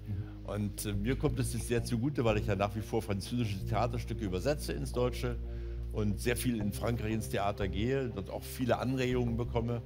Also äh, es hat sich bisher alles gelohnt. Und sicher damit auch kein Zufall, äh, sage ich gerne, weil äh, immer wieder toll. Am 1. Dezember hat äh, Monsieur Claude und seine Töchter, der wunderbare und sehr erfolgreiche Kinofilm, hat im Schlossparktheater Premiere. Ja, am 1. Dezember mit Brigitte Rothum und vielen, vielen anderen. Das ist ein sehr aufwendiges, personell aufwendiges Stück mit 13 Personen. Wir geben uns nochmal richtig Mühe in der 10. Spielzeit und äh, die Zuschauer sind herzlich eingeladen, von dem Kuchen sich ein Stück abzuschneiden. Lohnt sich mit Sicherheit. Besuch im Schlossparktheater lohnt sich immer, aber da bestimmt ganz besonders. Ne? Ja. So, was folgst du oder möchtest du widersprechen? Na, ich werde auf gar keinen Fall widersprechen. Wir nehmen B. B. B ist eingeloggt. Silhouette. Schattenrisse als Form des Porträts erfreuten sich im 18. Jahrhundert großer Beliebtheit. Der Begriff Silhouette wurde dafür jedoch erst später verwendet. A la Silhouette hatte zunächst eine negative Bedeutung und stand für Billigware und billige Kunst. Denn der beim Volk als Geizkragen bekannte Finanzminister Ludwig XV. Etienne de Silhouette war ein großer Liebhaber von Scherenschnitten. Angeblich schmückte er sogar sein Schloss anstelle von teuren Ölgemälden mit selbstgemachten Schattenrissen und festigte so seinen extrem sparsamen Ruf. Gut. Ja, sehr gut. Die richtige Antwort, 500 Euro obendrauf. 2000 Euro. Das können wir noch aufholen.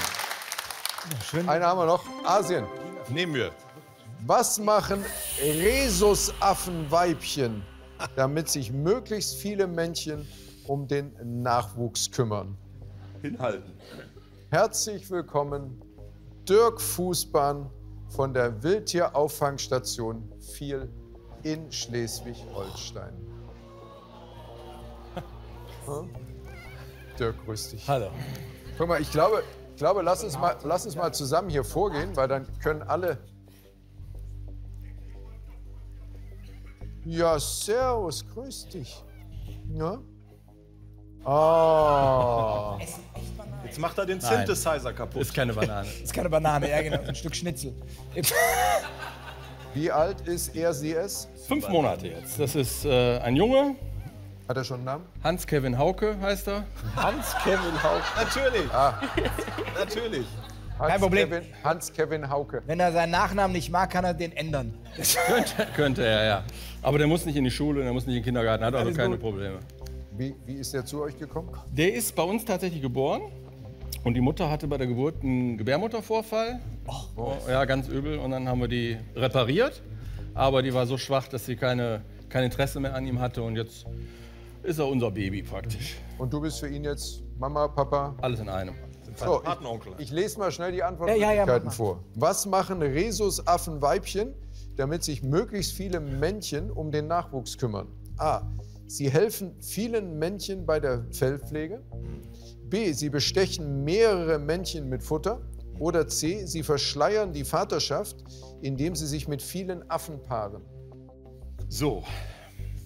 Also sie helfen vielen Männchen bei der Fellpflege. Das setzt den Glauben voraus, dass man vom Mann irgendwas dafür zurückbekommt. Die Natur lehrt uns etwas anderes. Äh, mit Futter bestechen, das ist schon realistischer, muss man mal sagen. Ich finde äh, am spannendsten natürlich C, ehrlich gesagt. Womit ich jetzt nicht sagen will, dass alle Rhesusaffenweibchen Schlampen sind, aber äh, das ist natürlich schon die spannendste Geschichte, dass ganz viele sich verantwortlich fühlen, weil sie denken, der sieht doch mir doch aus wie aus dem Gesicht geschnitten. Weißt du? Also besonders monogam sind diese Kollegen, glaube ich, nicht, soweit ich weiß. Ist jetzt nicht wie bei Störchen oder sowas. Wie kann ich mir alles vorstellen? Auch die Fellpflege tatsächlich. Ja. Komm her, ich bin. Also dem Motto, die- ich bin die- fertig die, zu äh, dir, ich komme her. Also Fellpflege ist ja, glaube ich, in der Affengruppe sowieso wichtig, um den Gesamtzusammenhalt zu verstärken. Aber. Ich glaube, er hat gerade den Daumen im Mund, er nuckelt ein bisschen. Och Mensch. Ist doch schon spät. Guck doch, ob du der Vater bist, Kai. Das heißt, und dann kommen alle möglichen. Ach Mensch, guck doch mal, keiner achtet eh auf uns, Elton. Wir können hier machen, was wir wollen. Oh, wie süß. Also äh, Fellpflege ist wirklich so ein, glaube ich, bei allen Affenarten ein wichtiges Ritual, um den, das Sozialverhalten in der Gruppe, dass man sich gemeinsam verantwortlich fühlt für, die, für den Affenverein an sich. Aber ob das jetzt Kai, du riechst nach Wiesent und Pinguin. Ja. Das ist für so einen Affen echt schwierig. B oder C, ne? oder? Sich da Ja, irgendwie bei zu C, wie wollen die denn ändern die Sicht? Ich habe mit dir gepimpert, kann sein, dass ich der Vater bin und deswegen gehe ich dahin. Meinst du, ist denen eh wurscht? Ja, der Affe Ich auch. glaube, die sagt, hier komm her, liegt ein bisschen was aus und dann kommen die da ran, echt so bestechungstechnisch. Also Entscheidung. Wir nehmen B. B. Wieder alle, nein! Ja, weil die Leute Ahnung haben. So, Elton hat sich für B entschieden, sagt damit, äh, sie bestechen mehrere Männchen mit Futter. Wie verhält es sich bei den Rhesusaffen? Ähm, ja, Futter ist äh, nicht so wichtig. Ähm, da sind schon mehrere Väter im Spiel, damit äh, alle denken, jo, da muss ich drauf aufpassen. Ja. Also Antwort C ist die richtige Antwort. Äh, Sie verschleiern tatsächlich die Vaterschaft, indem sie sich mit vielen Affen paaren. Das heißt, Jetzt tu nicht so, als ob, hab ich gesagt. Na, Du hast nicht So gesagt. ähnlich habe ich es gesagt. Aber dann sag doch, nee, es ist C, es ist C. Du sagst, so, wir sagen an dieser Stelle erstmal herzlichen Dank an Hans-Kevin Hauke und an Dirk Fußbahn. Alles Gute weiterhin. Ja? Dankeschön. Dankeschön. Schlaf gut, Hans-Kevin. Und damit sind auch in dieser Runde alle Fragen gestellt und auch mehr oder weniger richtig beantwortet. Wir haben folgenden Zwischenstand. Bernhard und Dieter Hallervorden haben 2000 Euro erspielt. Elton und Oliver Welke 1500. Und auch in dieser Runde gibt es ein kleines Finale, gibt es eine Entscheidung, wer ins Halbfinale noch einzieht. Oliver Welke oder Dieter Hallervorden. Hier kommt sie, die Entscheidung.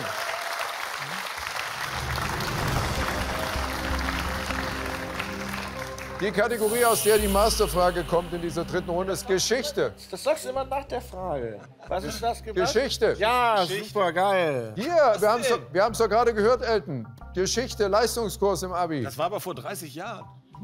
Dann ist ja sogar das, was du erlebt hast, Geschichte. Das ist doch super. Genau, genau, genau. So, jetzt geht es darum, wie viel ihr setzt.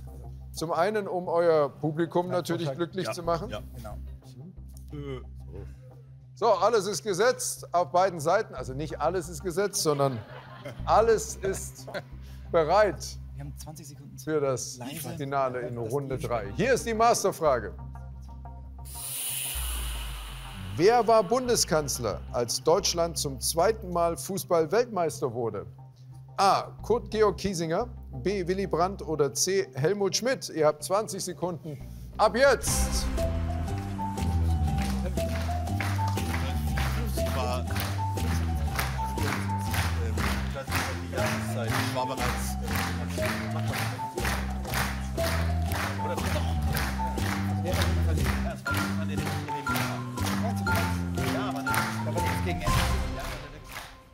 So, beide Teams haben ihre Antwort eingeloggt. Wir schauen, was ihr gesetzt habt. Bernhard und Dieter Hallervorden 2000 Euro erspielt und gesetzt haben sie 1001 Euro. Elton und Oliver Welke 1500 Euro erspielt und gesetzt. Alles! Oh! Oh, du hast recht. Auf welche Antwort haben Bernhard und Dieter getippt? Antwort C. Auf welche Antwort haben Elton und Oliver Welke getippt? Antwort C. Deutschland wurde Weltmeister am 7. Juli 1974. Ja, tut mir leid. Was Zum soll ich? zweiten Mal. Und die Amtszeit des damaligen Kanzlers dauerte vom 16. Mai 1974 bis zum 1. Oktober 1982. Und der Bundeskanzler war Helmut Schmidt. Das ist richtig.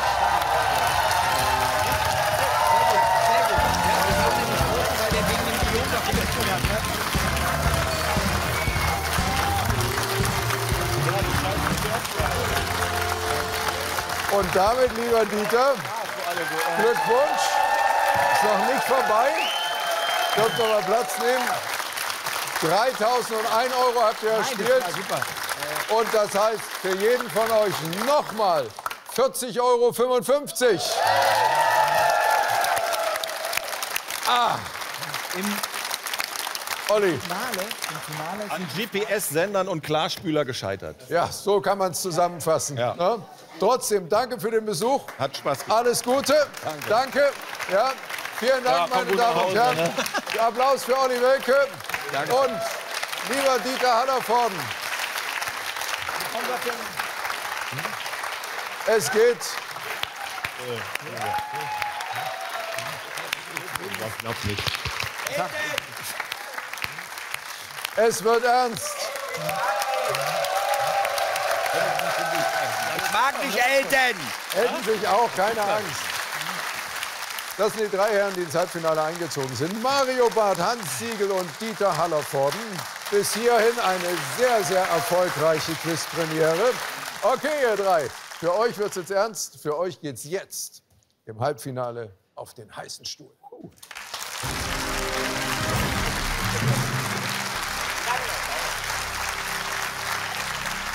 Der heiße Stuhl steht bereit.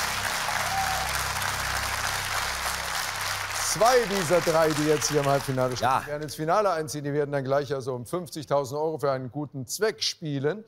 Wer das sein wird, das klären wir jetzt. Äh, jeder von euch bekommt von mir eine Minute lang Fragen gestellt. Offene Fragen, keine Antwortmöglichkeiten. Wer am Ende mehr richtige Antworten hat, der kommt weiter. Die beiden mit den meisten richtigen Antworten, die kommen weiter. Super. Ja. Mario beginnt. Ja, freue mich sehr. Ja, du, Soll ich aufstehen? Ja, ja, bitte. Nimm Platz.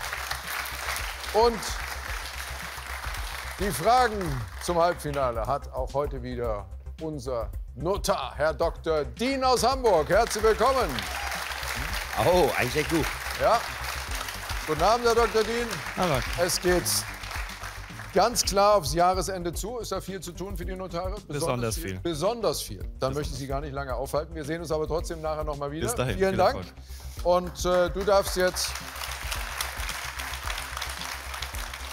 wie so ein Hütchenspiel. Ich nehme den grauen Umschlag. so, welcher darf sein? Die goldene Mitte ist immer Die gut. goldene Mitte. Schön bei drei silbernen Umschlägen. Es sind die Fragen A. Uh, da habe ich damals schon bei Physik abgekackt. So, alles klar. Ich stelle dir jetzt nacheinander die Fragen. Wenn du irgendwas nicht weißt, sagst du einfach weiter. Die Zeit läuft, wenn ich die erste Frage zu Ende gestellt habe. Du bist bereit? Hier ist die erste Frage. Aller Anfang ist. Schwer. Wie heißt der Weihnachtsmann in den USA? Santa Claus. Richtig. In welchem Organ findet man die kleinen grauen Zellen? Im Gehirn. Richtig. PKW aus Bremen erkennt man am Nummernschild mit dem Buchstaben? HB. Richtig. In welcher Band war Phil Collins zunächst Schlagzeuger? Genesis. Richtig. Zu welchem Inselstaat gehört Bali? Weiß ich nicht, weiter. Indonesien. Wie viele Jahre war Barack Obama Präsident der Vereinigten Staaten? Acht Jahre. Richtig. Welches Fleisch wird für Tafelspitz verwendet? Rind. Richtig. Was ist die Quadratwurzel aus 16? Keine Ahnung, weiter. 4. Welche Sportart gehört neben Skispringen zur nordischen Kombination? Weiter. Skilanglauf. Wie heißt ein Arzneimittel, das keinen Wirkstoff enthält? Placebo. Richtig. Wie heißt der Hexenbesen von Bibi Blocksberg? Weiter. Kartoffelbrei. In welchem Bundesland liegt Jena? Weiter. Thüringen. Wofür steht die Abkürzung GPS? Weiter. Global Positioning System. Welcher Künstler malte die Mona Lisa? Äh, weiter. Ich weiß es, aber weiter. Leonardo da Vinci. Welches Gesetzbuch wird mit BGB abgekürzt? Bundesgesetzbuch. Ja, bürgerliches, Bürgerliches Gesetzbuch. Aber das waren acht richtige Antworten. Das ist gut. Das ist gut. Ob Kartoffelbrei weiß ich, aber ich aber, äh, Ob es fürs Finale reicht? Weiß ich nicht. Wir werden das sehen. werden wir sehen. Mario, bitteschön. Vielen Danke. Dank. So, Hans. Auf Wiedersehen. Ja, auf Wiedersehen. Kommen Sie gut nach Hause.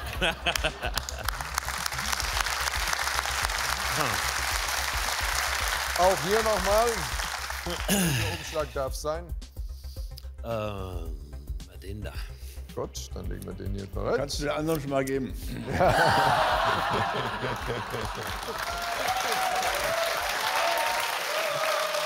Und es ist der Umschlag mit den Fragen B. So. Auch für dich, lieber Hans. Zeit läuft mit der ersten Frage, die ich zu Ende gestellt habe. Bereit? Jo. Dann starten wir hier. In welcher Sportart feierte Andre Agassi seine größten Erfolge? Tennis. Richtig. Jeder hat seines Glückes, jeder ist seines Glückes. Richtig. In welches Gemüse werden an Halloween traditionell gesichtet? Kürbisse. Richtig. Wofür steht die Abkürzung TÜV? Oh, weiter. Technische Überwachungsfallen. In welchem Ozean liegt die portugiesische Insel Madeira? Weiter. Atlantischer Ozean. Die Nummer 030 ist die Vorwahl welcher Berlin. deutschen Stadt? Richtig. Wie heißt der kleine Junge im Dschungelbuch? Mowgli. Richtig. Wie viel sind ein Fünftel im Prozent? Äh, 25, 20. Richtig. Welche Farbe hat das Kreuz auf der Flagge Schwedens? Gelb. Richtig. Wer schrieb die Musik zu dem Musical Cats? Weber. Richtig. Welches, welche Jeansform ist nach einem Gemüse benannt? Karottenhose. Richtig. In welchem US-Bundesstaat liegt der Weltraumbahnhof Cape Canaveral?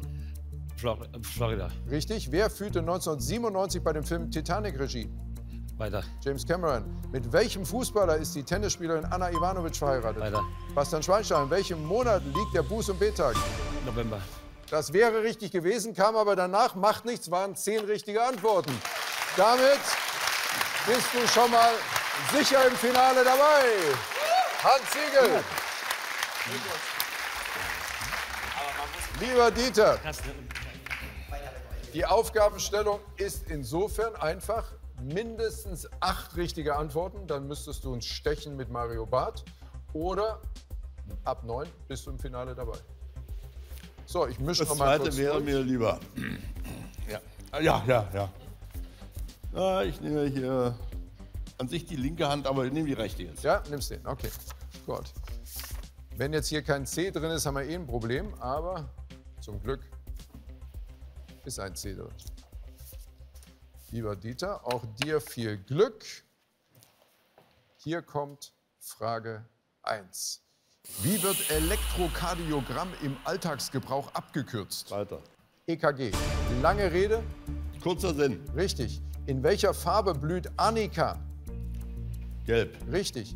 Welche Sportler werden Könige der Athleten genannt? Ähm, Dreikämpfer. Zehnkämpfer. Laut Satz des Pythagoras ist a Quadrat plus b Quadrat gleich? C Quadrat. Richtig. Wie viele Haselnüsse erhält Aschenbrödel in einem weltberühmten Weiter. Drei. Welche Band bildeten die Brüder Barry, Maurice und Robin Gibb? Weiter. Die Bee Gees. Welche Sprache ist die Amtssprache von Brasilien? Portugiesisch. Richtig. Wie wird ein ringförmiges Korallenriff um eine Lagune genannt? Weiß ich nicht. Atoll. An welchem Datum wird in Deutschland jedes Jahr der Reformationstag gefeiert? Weiß ich nicht. 31. Oktober. Womit wird Earl Grey aromatisiert? Auch nicht. Bergamotte. In welchem Bundesland liegt die Stadt Lübeck? Äh, Schleswig-Holstein. Richtig. In welche Stadt führt die Karlsbrücke über die Moldau? Prag. Richtig. Welche Früchte trägt der echte Ölbaum? Oliven wären es gewesen. Lieber Dieter, das waren sechs richtige Antworten. Schade. Ja. Damit. Okay. Ja, bleib bei uns, ganz kurz. Kommt hoch. Ja. So, damit haben wir die zwei Finalisten ermittelt. Das sind Mario Barth und Hans Siegel. Und ich Nochmal darf mich Nochmal. ganz herzlich bedanken ich, für den. Besuch das erste Mal in einer Quizshow. Dieter Hallervorden, ich freue mich, dich bald wiederzusehen. Ja, absolut, auch außerhalb eines Quizshow-Studios. Immer gerne. Danke. Ja. Alles Gute. sehr guter Gast. Danke, bis bald. Ja. Lieber. Dieter Hallervorden, das ist dein Applaus. Dankeschön. So,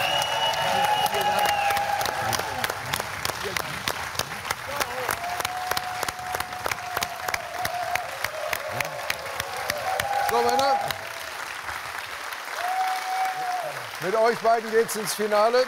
Und äh, jetzt muss noch eine Frage geklärt werden, wenn Bernhard und Elton zurück sind. Äh, mit welchem Teamkapitän geht's ins Finale? Du hast die meisten richtigen Antworten gehabt. Ja. Gleich, wenn die beiden wieder da sind, darfst du sagen, mit wem es ins Finale geht. Hier sind sie zurück, unsere beiden Teamkapitäne. Hier sind Bernhard und Elton.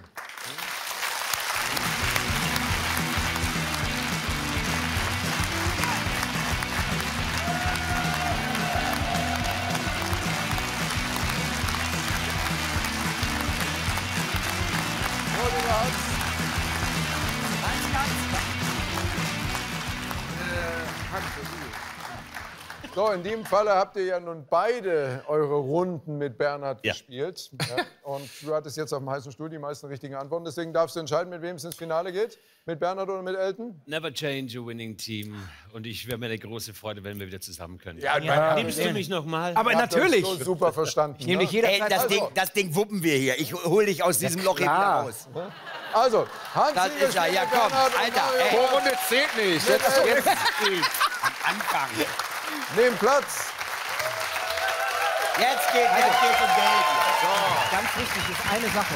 Sobald du drückst, ist eingeloggt. Und ja. Das heißt also nicht sagen, Wir Das war- starten jetzt so langweilig ins letzte Mal da große drüben. Dir nicht Finale. ja. Endlich bin ich beim Elten. Das nervt ja. Es geht los, geht los, geht los. Und so richtig los geht's, wenn Herr Dr. Dien die Fragen bringt. Die Masterfragen fürs Finale. So. Vielen Dank. Wir sehen uns nochmal Weihnachten. Danke für den heutigen Abend. Ja, schönes weiteres Wochenende. Es muss alles hier mit rechten Dingen zugehen, deswegen alles auch notariell beglaubigt. Natürlich, wenn ich was weiß, werde ich Ja, das schon wieder. du hast Nimm mal den Verliererumschlag. Aber drüben. entscheiden tust jetzt du. Ich entscheide jetzt. Das kann ich sehr Ja. gut. Ich muss Okay. wahnsinnig dringend pullern. Und es, und es gab mal in eurer Sendung, dass man dann entscheidet. So, es sind die Fragen B für Hans Siegel und Bernhard Hoeker. Also die Fragen A für Mario Barth. So, ihr Lieben, seid ihr bereit? Die erste Frage geht an das Team Hans Siegel und Bernhard Hoeker. Die Teamkapitäne sind jetzt natürlich nur noch beratend äh, zu eurer Hilfe da. Denn es geht ja um euren Gewinn. Es geht um 50.000 Alles Euro klar. von Du holst Weg. die Korken raus, hätte ich nicht gedacht. Glückskorken. Wer hat Dann hole ich mir meine erstes Glückskorken auch raus. Drei richtige Und wir haben zwei Glückskorken. Ich will keinen Druck aufbauen. Aber.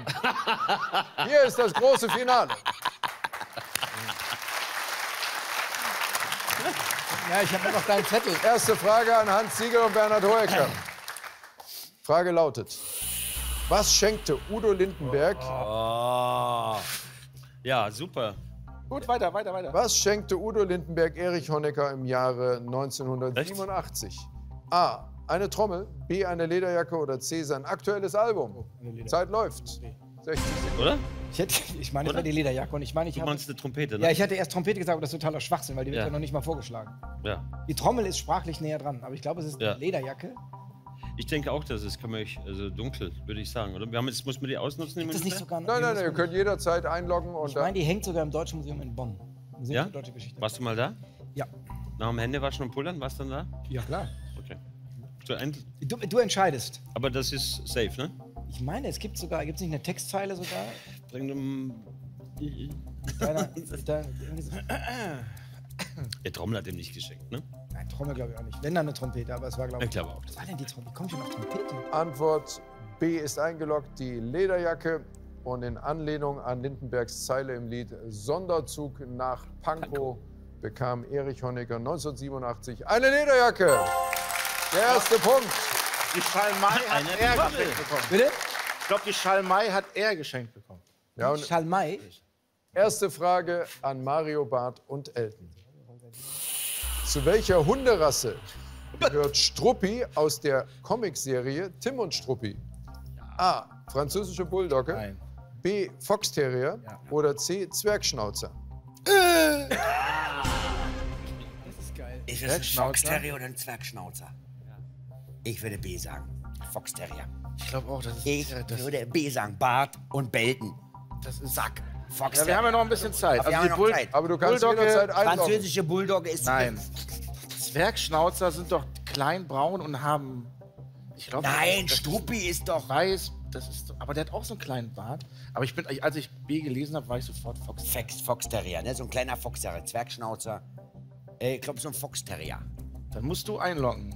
Ist doch ein Foxterrier, ne? Ist doch ein Foxterrier, nicht? Das, Es ist ein Foxterrier. Kennst du, kennst du? Kennst du, kennst du Foxterrier? Kennst du Foxterrier? Kennst du, kennst du, Struppi, kennst kennst du, kennst du Foxterrier? Kennst so. du? Kenn- ja. kenn ich, so heißt kenn mein ich. neues Programm dann auch. Foxterrier. Struppi Oh, ist jetzt. äh, ein weißer Drahthaar. Foxterrier, richtig. So, damit steht es 1 zu 1. Weiter geht's. Nächste Frage an Hans Sieg.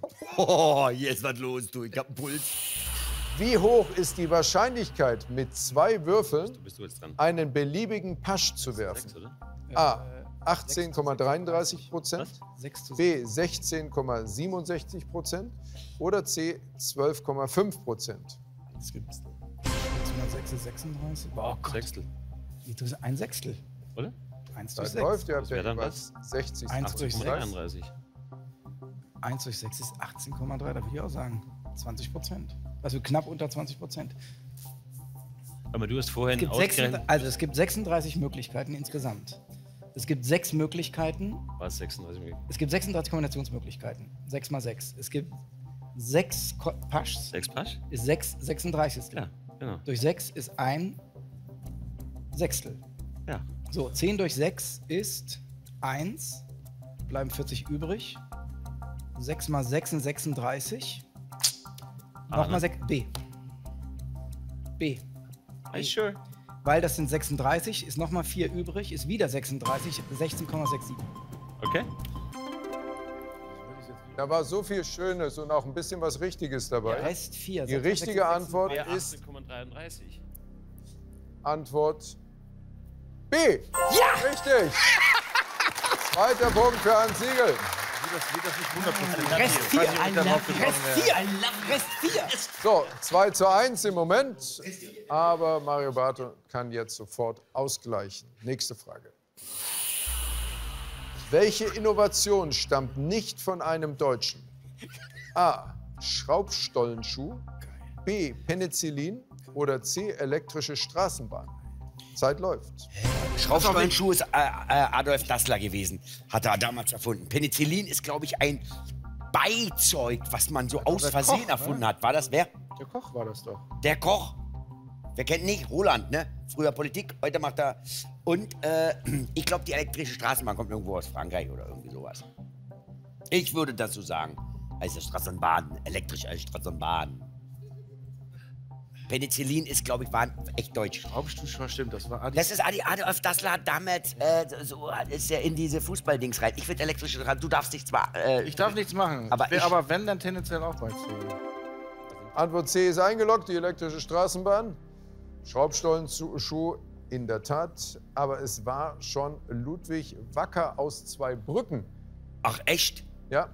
Das war schon vor Adi. Hat Adi hat's 19 geklaut? Nö, aber der hat quasi die Idee gehabt dafür. 1925 bereits. Ach, guck. Ähm, das Penicillin wurde erfunden von Alexander Fleming. Fleming war es, nicht Koch. Ja, ja. Und der war schottischer Mediziner und Bakteriologe. Shit, shit. Antwort Shit. B ist die richtige. Und die elektrische Straßenbahn war Werner von Siemens. Ah, na, Werner, wer kennt Werner? Ja, Fleming, natürlich. Also es bleibt bei einem Punkt. Ich hätte gedacht, er wäre ein Deutscher gewesen, Penicillin, Und, weil es ist so deutsch. Lieber Hans, du hast deinen ersten Matchball jetzt. Für den Fall, dass du die nächste Frage richtig beantwortest, Hätte ich gewonnen? hättest du gewonnen. Das wäre Du cool. die 50.000 Euro von guten Okay. Gentleman's Agreement, Silenzium. Zweck. Hier kommt die vielleicht alles entscheidende letzte Frage. Welches Wort steht seit 2006 im Duden? A. Alibi-Pass. B. Kabinenpredigt. Oder C. Auflaufkind. Okay, wissen kann man das nicht. Das ist aber so. Was ist denn ein Auflaufkind überhaupt? Was ist Keine denn ein Ahnung. Auflaufkind? Keine Ahnung. Ist das, wenn eine Kindergartengruppe stehen bleibt und die hinteren sind die Auflaufkinder? Ich habe keine Ahnung. Aber ich habe gedacht, an dieses haben die. Also eine Kabinenpredigt gab es bestimmt schon länger. Das ist eine Gardinenpredigt. Ah. Stimmt, deshalb. Ein Alibi-Pass. Das, Das ist ein Auflaufkind. ich habe von einem Auflaufkind. Doch, Auflaufkind ist ein Kind, was du bei einer Scheidung, Trennung mitnimmst, was mit aufläuft vielleicht. Sowas in der Art. Ich habe keine Ahnung. Ein Duden, der Alibi-Pass. Hm, alibi Was heißt 2016? Kosovo-Flüchtlinge? Hä? Ich überlege gerade Alibi-Pass, dass man einen Pass hat. Ich bin für A oder C. Drück, ne? Du musst, äh, du weißt, aber Auflaufkind ist ja aber ich habe keine Ahnung. So, Hans Siegel tippt den Alibi-Pass ein. Alibi-Pass nennt man beim Fußball so einen Pass, der so ins Nichts geht, wo man sagt, da ist so kein Risiko dabei, macht aber auch keinen Sinn. Ah. Ne? Kabinenpredigt, da sind alles drei Begriffe übrigens aus dem Dieses Fußball. Die hält äh, Ach so, der die Kabinenpredigt, dann ja in der klar. Halbzeit. Ah, unser Und das Auflaufkind ist das Auflaufkind. Sind die Kinder, Ah! die Fußballer an der Hand Alter, wie- haben, ja, wenn sie logisch. am Anfang des Spiels eine aufs- Ja, dann ist es ein Auflauf. Ah, Ja, ist nichts zum Essen, Auflauf. Fußballfrage. Ah, so eine Fußballfrage. Fußballfrage. Ja, und äh, entscheidend ist, dass zwei dieser drei Wörter gar nicht im Duden stehen. Ja. Nur eins davon eben. Und Ja. das ist Auflaufkind. Antwort C, das Auflaufkind. Ja, klar, logisch. Bleibt bei Wir zwei richtigen sind- wir sind Antworten. jetzt noch mal jetzt aber. Wir sind noch mal da jetzt hier. Wie dämlich sind wir denn? Wir machen uns warm, Kai, wir machen uns warm. Welcher Verein war Och, 1963 Mensch. kein Gründungsmitglied der Das Fußball-Bundesliga? bist du jetzt. Ich habe von Fußball, ich Ah. weiß, dass da elf Leute Erster FC Köln, B VfB Stuttgart oder C FC Bayern München. Zeit läuft. Wer kein Gründungsmitglied? Köln gibt es, glaube ich, schon 100 Jahre, ne? Bist du so fußballmäßig? Ich glaube tatsächlich, Bayern war kein Gründungsmitglied der Fußball-Bundesliga. Äh, ich habe von Fußball, also wirklich. Ähm, also Köln, Köln, glaube ich. Aber warst du schon so oft im Stadion? Ich bin ganz oft im Stadion, aber stehe da auf einer Bühne. Ich habe mit wenig mit Ball. Bayern ist aber auch mal abgestiegen. Vielleicht eine. Äh, Bayern München, das, das, weiß- ich glaube, das ist so weiß eine Frage, wo jeder sagt, na, Bayern München ist nicht, die sind ja immer Meister. Und genau die sind es nämlich. Ich glaube, Köln, den Verein gibt es einfach schon seit immer. Wir haben nur noch 17, ich will keinen Druck aufbauen, aber ich weiß es nicht. Du Vielleicht, kannst ja jederzeit tippen. Köln oder München? vielleicht, Wahrscheinlich ist es tatsächlich München. ich würde einfach mal kommen, dann machen wir dem ein Ende, wir haben alle Durst. Und dann, äh, zack, ich sag München. Ich habe keine Ahnung, Freunde, Fußball. Ist es richtig? Jawohl, es ist, ich weiß es Also. doch, ich weiß es doch. Der erste Bundesliga-Meister überhaupt war der erste FC Köln. Natürlich, wer denn FC sonst? Bayern München kam erst 1965 in die Bundesliga klar. dazu. Richtige Antwort. Na klar. 3 zu 2. Was ist denn die Frage? Habe ich nicht verstanden. Vielleicht die entscheidende Frage für Hans Siegel. Ah. Hans, hier ist deine Frage. Ja. Welcher Film ist das Remake eines Klassikers von 1960? A. Ocean's 11, B. Forrest Gump oder C. Pretty Woman? Zeit läuft. Wisst ihr? Ich weiß es auch. Steht ja nicht drauf. Also, ich habe keine Ahnung. Forrest Gump, glaube ich, das ist so speziell.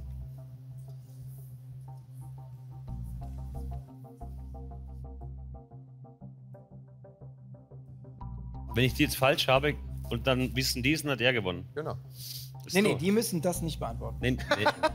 Nein, nein, nein, die bekommen eine neue Frage. Wenn ihr jetzt falsch oder du falsch antwortest, dann wäre es der erste Matchball für Mario Barth. Ich habe keine ich habe nicht, ich habe keinen blassen Schimmer. Ich würde nur B ausschließen, aber das ist so ein Gefühl, das ist sowas von sinnlos.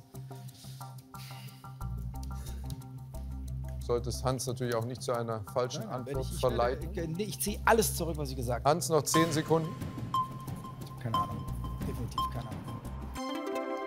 Hans sagt Antwort A, Ocean's 11.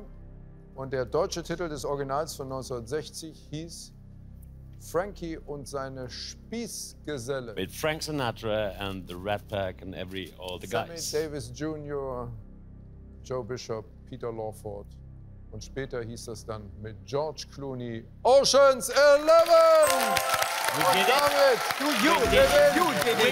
You did it. diese You did it. Ausgabe von Wer weiß denn sowas XXL und bringt damit die 50.000 Euro für die gute Zweck. Komm rüber. Hans, komm rüber, komm rüber. Herzlichen Glückwunsch erstmal. Was wäre Sehr denn unsere. Frage gewesen? Komm rüber. Oh. Mann. So gut gelaufen. Nee, so, ja. Super. Weiter, weiter. Da. Ich freue mich für dich. Dankeschön. Ja, dann vielen Dank. So lange Eleven. Weil ich dachte, wenn das jetzt. Komm rüber. Äh, weil man halt zögert. ne? Weil man- weil man- Also, Hans Sieger gewinnt die 50.000 Euro für einen guten Zweck. Und die gehen wohin? Äh, ans Conscious Action Network. Wir machen äh, zum Beispiel äh, in Indien, in Sri Lanka und in Südamerika helfen wir äh, sozial benachteiligten Kindern, dass sie Schule, wir bauen Schulen, wir äh, stellen Lehrer an und das Ganze gibt es im Internet zu sehen unter consciousactionnetwork.com, C-A-N und da geht das ganze Geld hin. Ganz wunderbar. Wir freuen uns und die Organisation freut sich mit Sicherheit auch. Super, Hans. Herzlichen Glückwunsch auch unseren neuen App-Gewinnern, die heute in der AD Quiz App mitgespielt und gewonnen haben. Ich sage danke fürs Zuschauen, freue mich äh, auf euch, auf Sie. Montag 18 Uhr dann wieder. Wer weiß denn sowas? Äh, dann mit Guido Kanz und Mike Krüger. Jetzt gibt es die Tagesthemen. Noch ein schönes restliches Wochenende. Und bis Montag. Machen Sie es gut. Tschüss, schönen Abend. Danke, Bernhard. Danke, Eltern. Danke an unsere Gäste. Tschüss, macht's gut. Danke an euch alle.